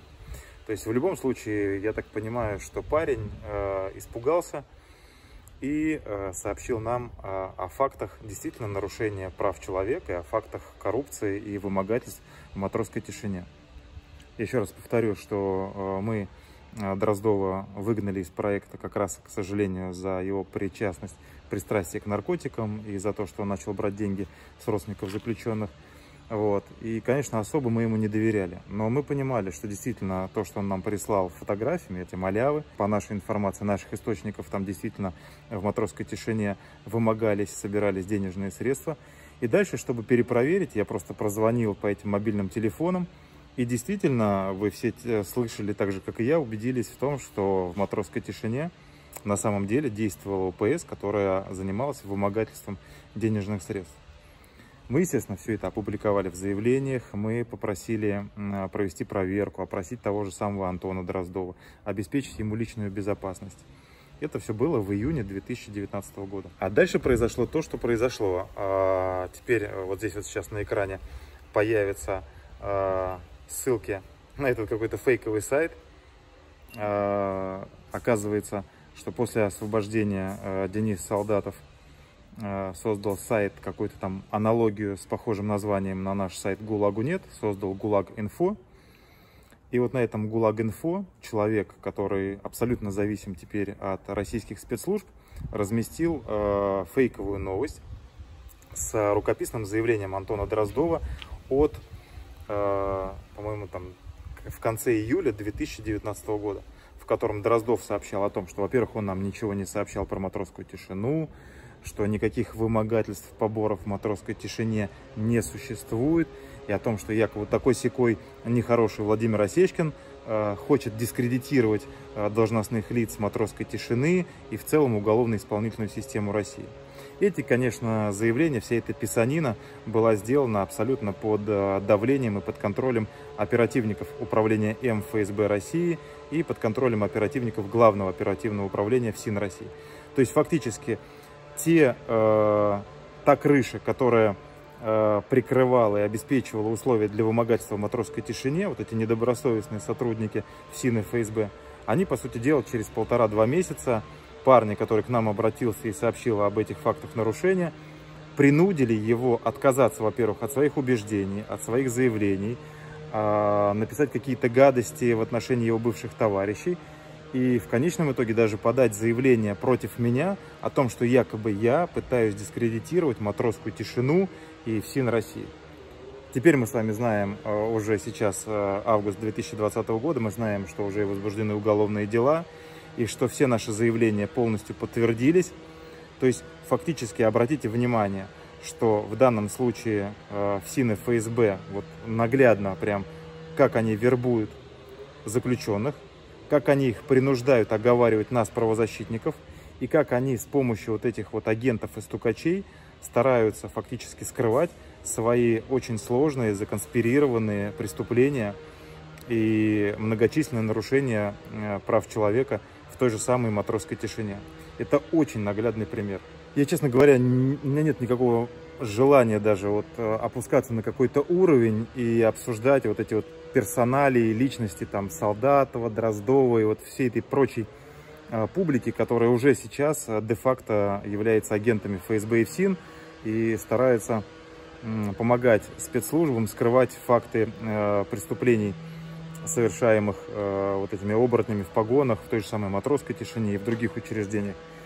Но здесь речь не про персоны, а про сам принцип, как фактически российские спецслужбы, управление М, это управление по контрразведывательному обеспечению э, Минюста ФСИН России, и как Главное оперативное управление ФСИН России, вместо того, чтобы пресекать коррупцию, вымогательство, деятельность ОПС, криминальных лидеров в учреждениях ФСИН, на самом деле – делает все возможное, чтобы наоборот вот эта коррупция, поборы, вымогательства сотен и тысяч заключенных процветали, и как они, используя свои служебные положения, принуждают завербованных заключенных оговаривать нас, правозащитников.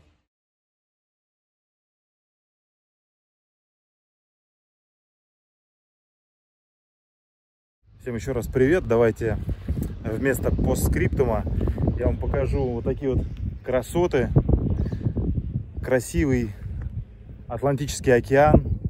Вдали виднеются белоснежные яхты. Респектабельный гольф-клуб. Потрясающий вид на Пиренеи, на горы. Одно из самых дорогих и красивых мест Франции. Это Англет.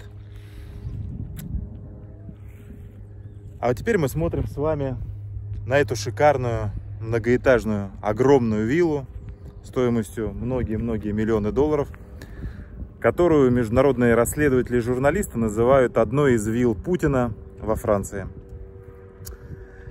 Что же, от себя хочу добавить, что я, Владимир Осечкин, правозащитник и жертва пыток, и еще около пяти, наверное, или теперь уже шести семей жертв пыток, те люди, которые столкнулись с пытками, с коррупцией.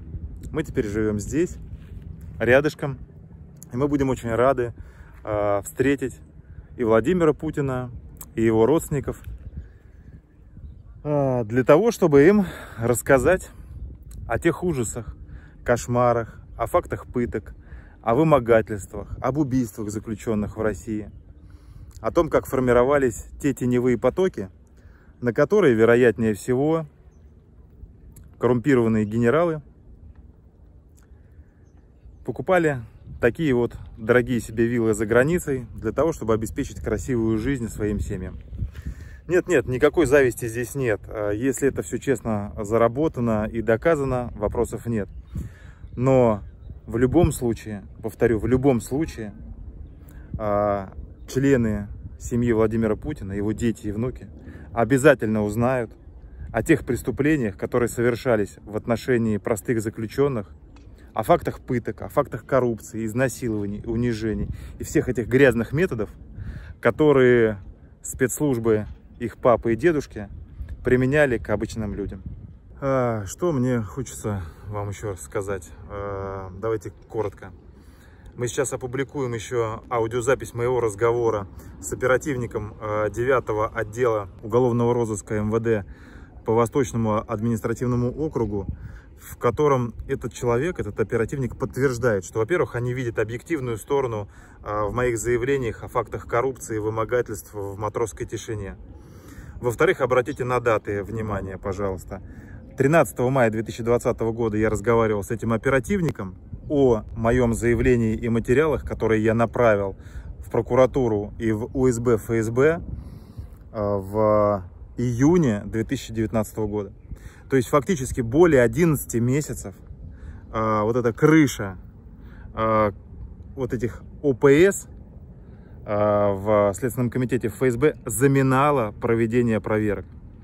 Практически год, практически год коррупционеры э, сделали все, чтобы не возбуждались уголовные дела и чтобы коррупция, пытки и вымогательства продолжались в матросской тишине.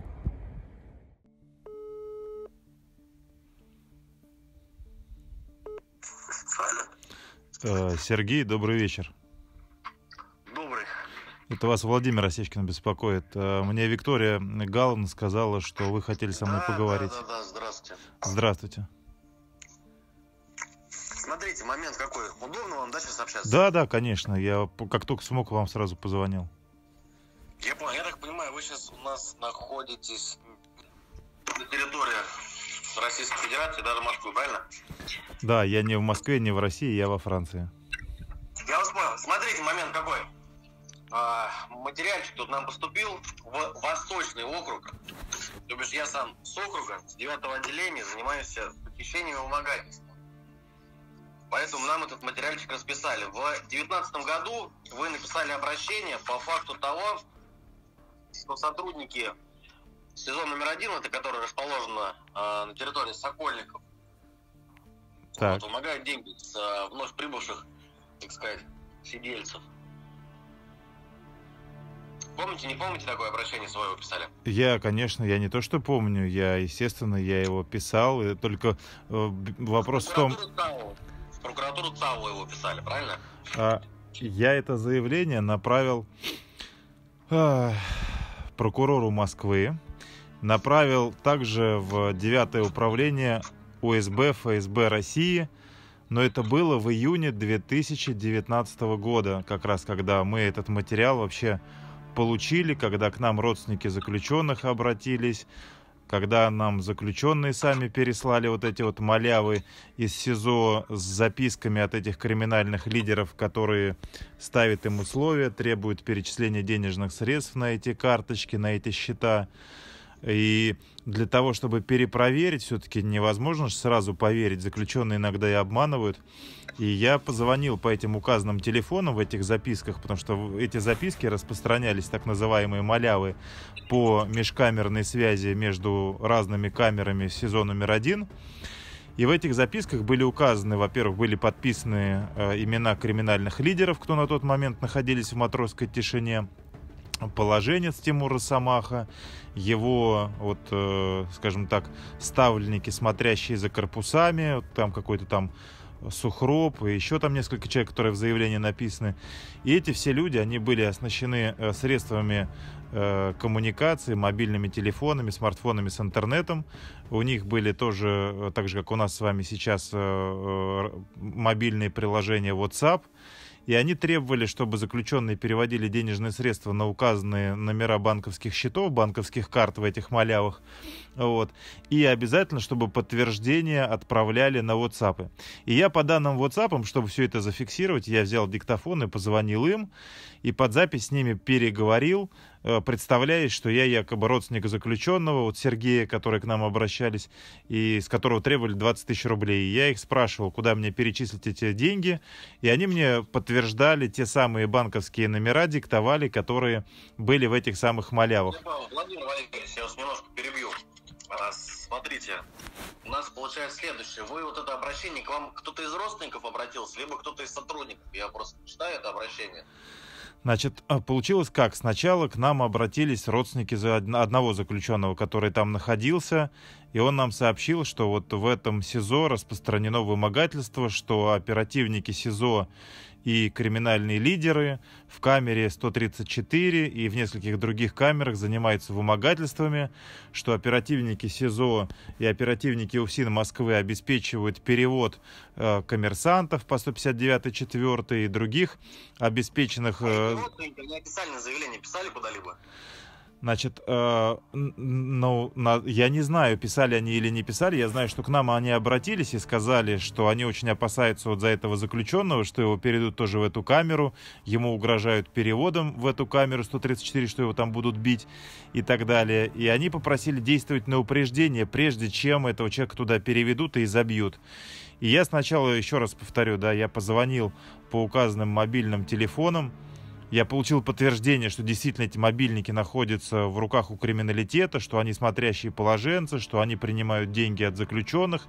Они мне там начали там... Я специально в, в этих телефонных звонках ошибался на одну цифру, и когда им диктовал номер карты из вот этих их маляв, я специально одну, одну цифру видоизменял, чтобы удостовериться, что они на самом деле знают номера этих своих банковских карт. И они мне поправляли и говорили, нет, нет, вам надо перевести вот именно на те карты. И поправляли номера таким образом, что они совпадали с вот этими указанными в этих записках, в этих малявах.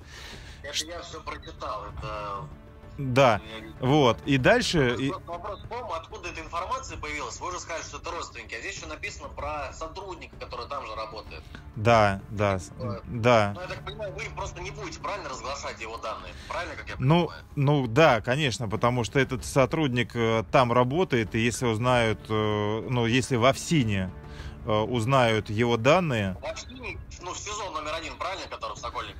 Ну, либо в СИЗО, если узна... Да, конечно, он работает, конечно, он работает в этом СИЗО, и он опасается, что если в УФСИН по Москве узнают, что именно он обратился к правозащитникам, ну, потому что он несколько раз обращался непосредственно к начальнику СИЗО и говорил о том, что, но его не устраивает то, что в СИЗО вот такая вот банда орудует, что это нехорошо, не, не потому что, в частности, его вынуждали переводить вот предпринимателей ну, заключенных, следственно арестованных по 159-4, так называемых коммерсантов в преступной среде, его э, тоже, короче, принуждали заниматься переводами таких коммерсантов в камеру 134, вот, чтобы они попадали под воздействие вот этого так называемого... Владимир Валерьевич, скажите, вам какой-либо вообще а, ответ давали сотрудники вот прокуратуры ЦАО там или куда вы еще обращались?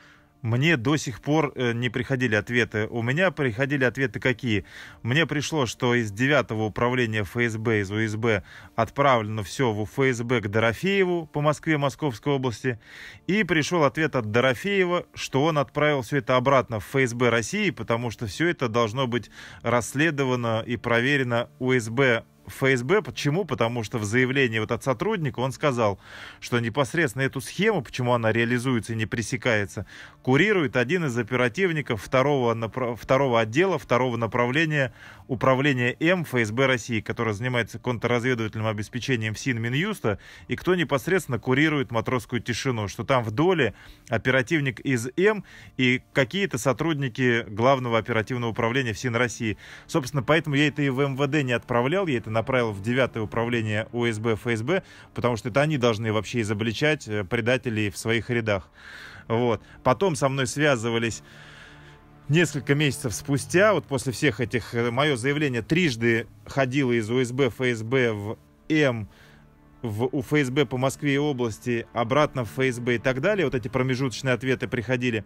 Потом через два месяца со мной связались осенью э, свед, следователь, сейчас скажу, Овсянникова, по-моему, ее фамилия, или Мананникова, или, из, из э, Следственного управления по Восточному административному округу ГСУ СК по Москве. Если хотите, я сейчас вот подниму прям за минуту, там найду э, и фамилию. И все это ушло в Следственный комитет. Она мне звонила. Она сказала, что я понимаю, что вы как бы во Франции, но давайте я вас все равно опрошу. Она мне прислала бланк протокола опроса, объяснения, чтобы я ей все подробно написал. Я ей все это расписал, и вместе с этим объяснением, и с материалами, с чеками, с квитанциями, я ей все это направил. И все, и после этого вот полгода тишины, а потом вот сегодня мне позвонила Вика и сказала, что вот девятый отдел э, уголовного розыска по Восточному да, округу... Валерий, суть-то в чем? Просто я же понимаете, нам этот материал попал, я не знаю, поскольку, поскольку, наверное, там просто читают и не видишь так. Нам, смотрите, у вас это объяснение вообще осталось э, в электронном виде? Конечно. А... Что приходит какое-нибудь сообщение или нет? Да. Это сотрудник, кому материал этот расписан, он вам 8 мая направлял э, письмо с целью с вами связаться. А mm. вот непосредственно Викторию Сергеевну нам уже пришлось потревожить сегодня. Потому что, ну, вы знаете, то, что... А мне не приходил который... ничего. Вот в том-то и дело, что если бы мне что-то пришло, я бы сразу бы ответил. А на а какой электронный адрес отправлял мне сотрудник?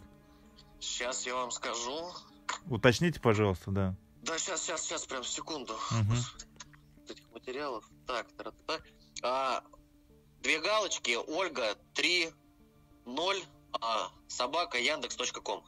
э, ну, собака Яндекс.ру. У меня на Яндексе ВВО 30, собака Яндекс.ру. Мой, теле, мой, мой электронный ящик. Но его единственное, его несколько раз взламывали хакеры. Я уж не знаю, там в интересах ФСИН или в интересах криминалитета. Они мне несколько раз взламывали, и у меня какая-то часть писем исчезала. Но это было там зимой. А вот сейчас, чтобы в мае, я, по-моему, ничего и не получал, хотя я каждый день проверяю почту. Но давайте еще, я вам сейчас смс-кой пришлю gmail номер, который они там с трудом могут взломать. Gmail сложнее взламывать, чем Яндекс. Может быть, на него попробуйте. А кто со мной пытался связаться? Вот из вашего отдела, из девятого, или, или, или следователя? Не, нет, у нас, смотрите, я работаю в управлении по Восточному округу города Москвы, да, ну, УВД по ВАУ, получается. Да, да, я понял, это да. А в девятом отделении, которое занимается, ну, вот, вымогательством и похищением лиц, ну, как бы связано с гражданской стороны, да, угу. а никак, ну, не относящиеся к УФСИНу и, там, к сотрудникам УСБ или ФСБ, ну, да, думаю, вы да.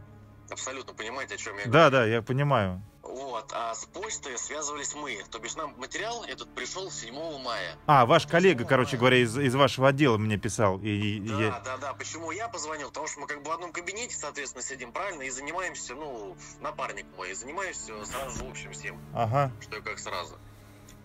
Понял. Вот. Понял. А, написали с нашей МВДшной почты, там, а, ну, грубо говоря, Каминский Д3, по-моему, я уже не помню, как сейчас называется.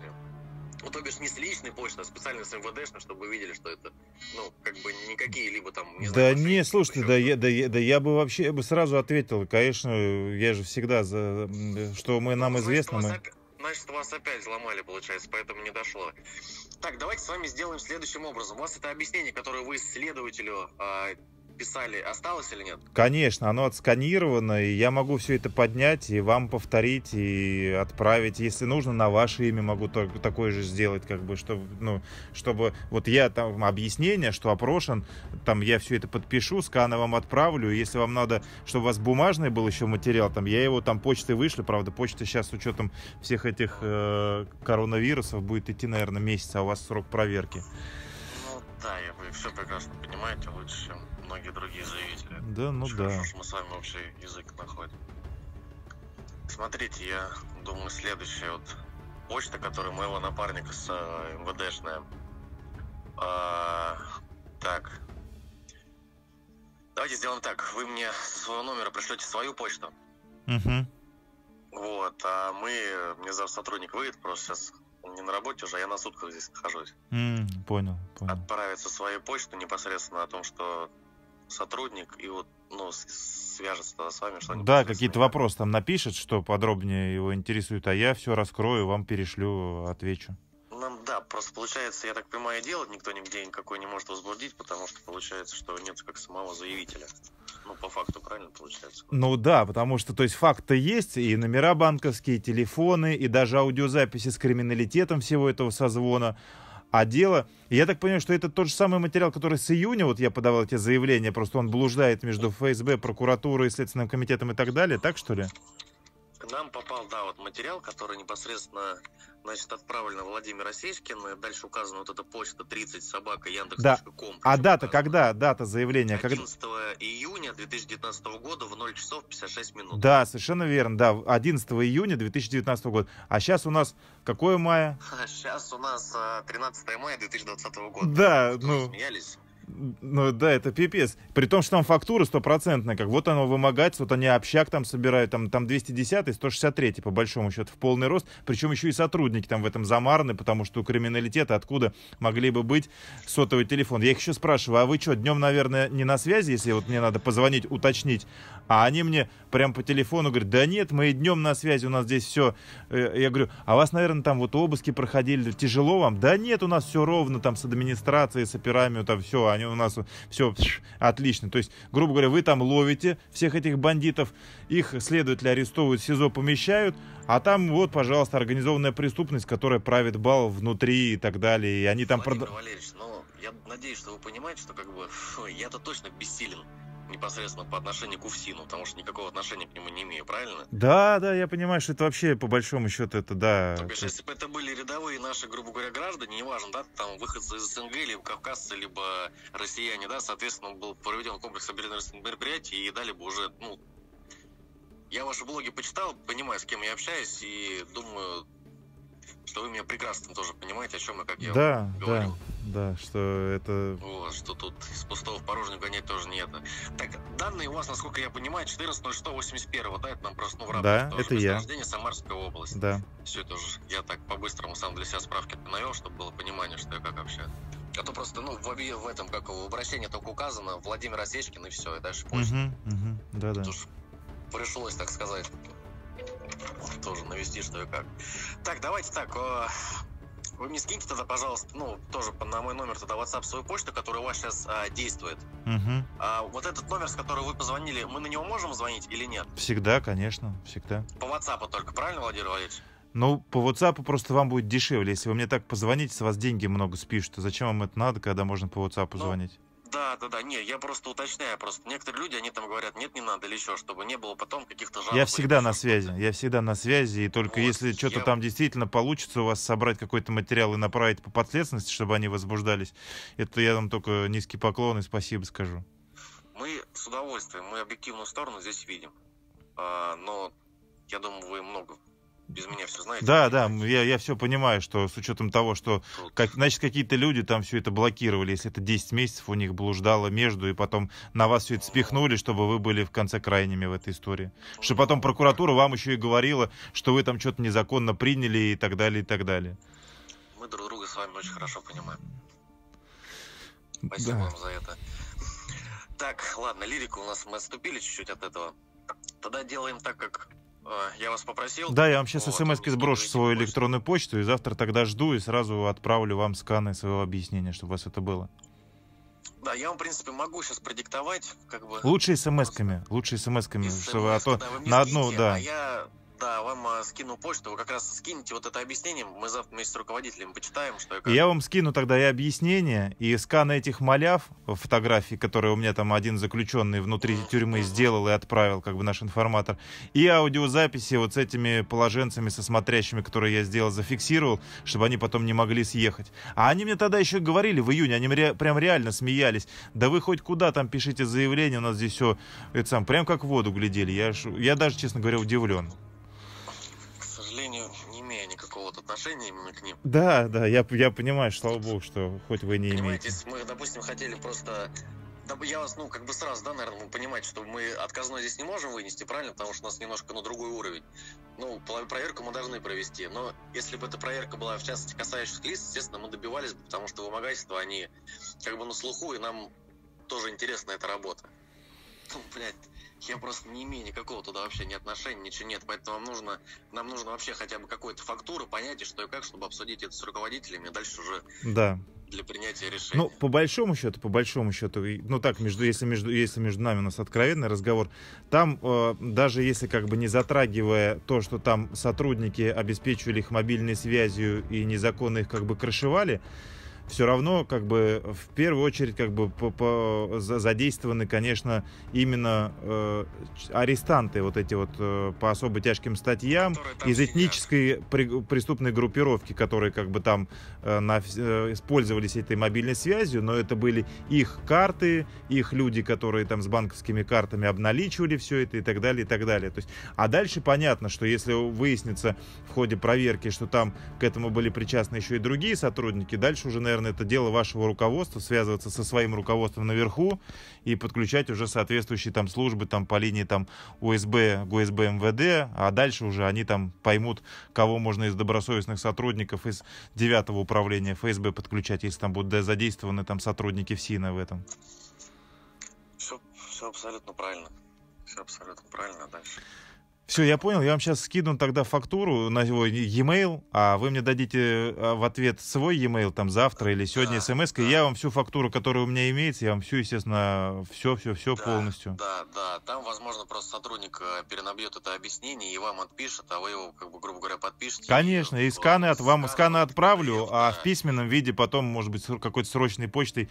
Сейчас вроде у нас деконфинимон этот заканчивается, я доеду до почты тогда, и, может быть, там по срочному там заплачу да, сам. Не, не, лишний раз вам тоже не надо, ни зачем, это не стоит того. Можно ну, если вас устроит скан, то отлично. Если скан устроит, то отлично. Да, да, да. Мы, грубо говоря, сотрудник вам э, перешлет, грубо говоря, объяснение из того, что вы там дали, да, уже. Конечно, Что-то подкорректирует, какие-то лишние, не лишние, а нужные вопросы туда вставит, вопрос-ответ.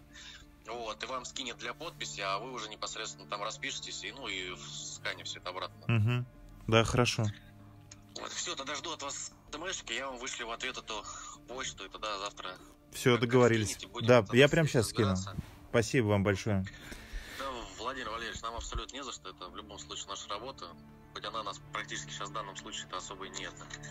Но все равно будем что-то пытаться думать. Спасибо большое, давайте на связи будем. Хорошо, сейчас всего отправлю. Доброго, спасибо. Да, всего доброго, до свидания. Очень важно понимать, что именно грант коррупция и решение высшего руководства в России создали такую систему, при которой независимых правозащитников и борцов с коррупцией гнобят, а мафия, которая вымогает у сотен и тысяч заключенных денежные средства, жестоко избивает, организовывает расправы, находится под плотной крышей и защитой нынешнего режима в России. И напоследок еще раз посмотрите, какая красивая вилла и какие прекрасные открываются виды. Я думаю, что очень многие люди бы в России хотели хотя бы на один день оказаться здесь, посмотреть на океан, на Пиренеи, которые здесь встречаются с Атлантикой. Наверное, поиграть здесь в гольф. И, наверное, э, зайти в гости на чашечку чая к семье Владимира Путина для того, чтобы с ними поговорить о том, как же так получилось, что э, за 20 лет правления полковника КГБ ФСБ до сих пор в России процветает коррупция, организованные преступные сообщества – и у тысяч заключенных регулярно вымогаются денежные средства, а их подвергают пыткам, жестокому обращению, избиениям и даже убийствам. Так, шикарное, конечно, место. Океан, дюны, песок. Дальше хвойные леса, шикарная природа. Вот такая вилла. Сказка, правда? Сказка для семьи Путиных. А для тысяч заключенных в России это ад.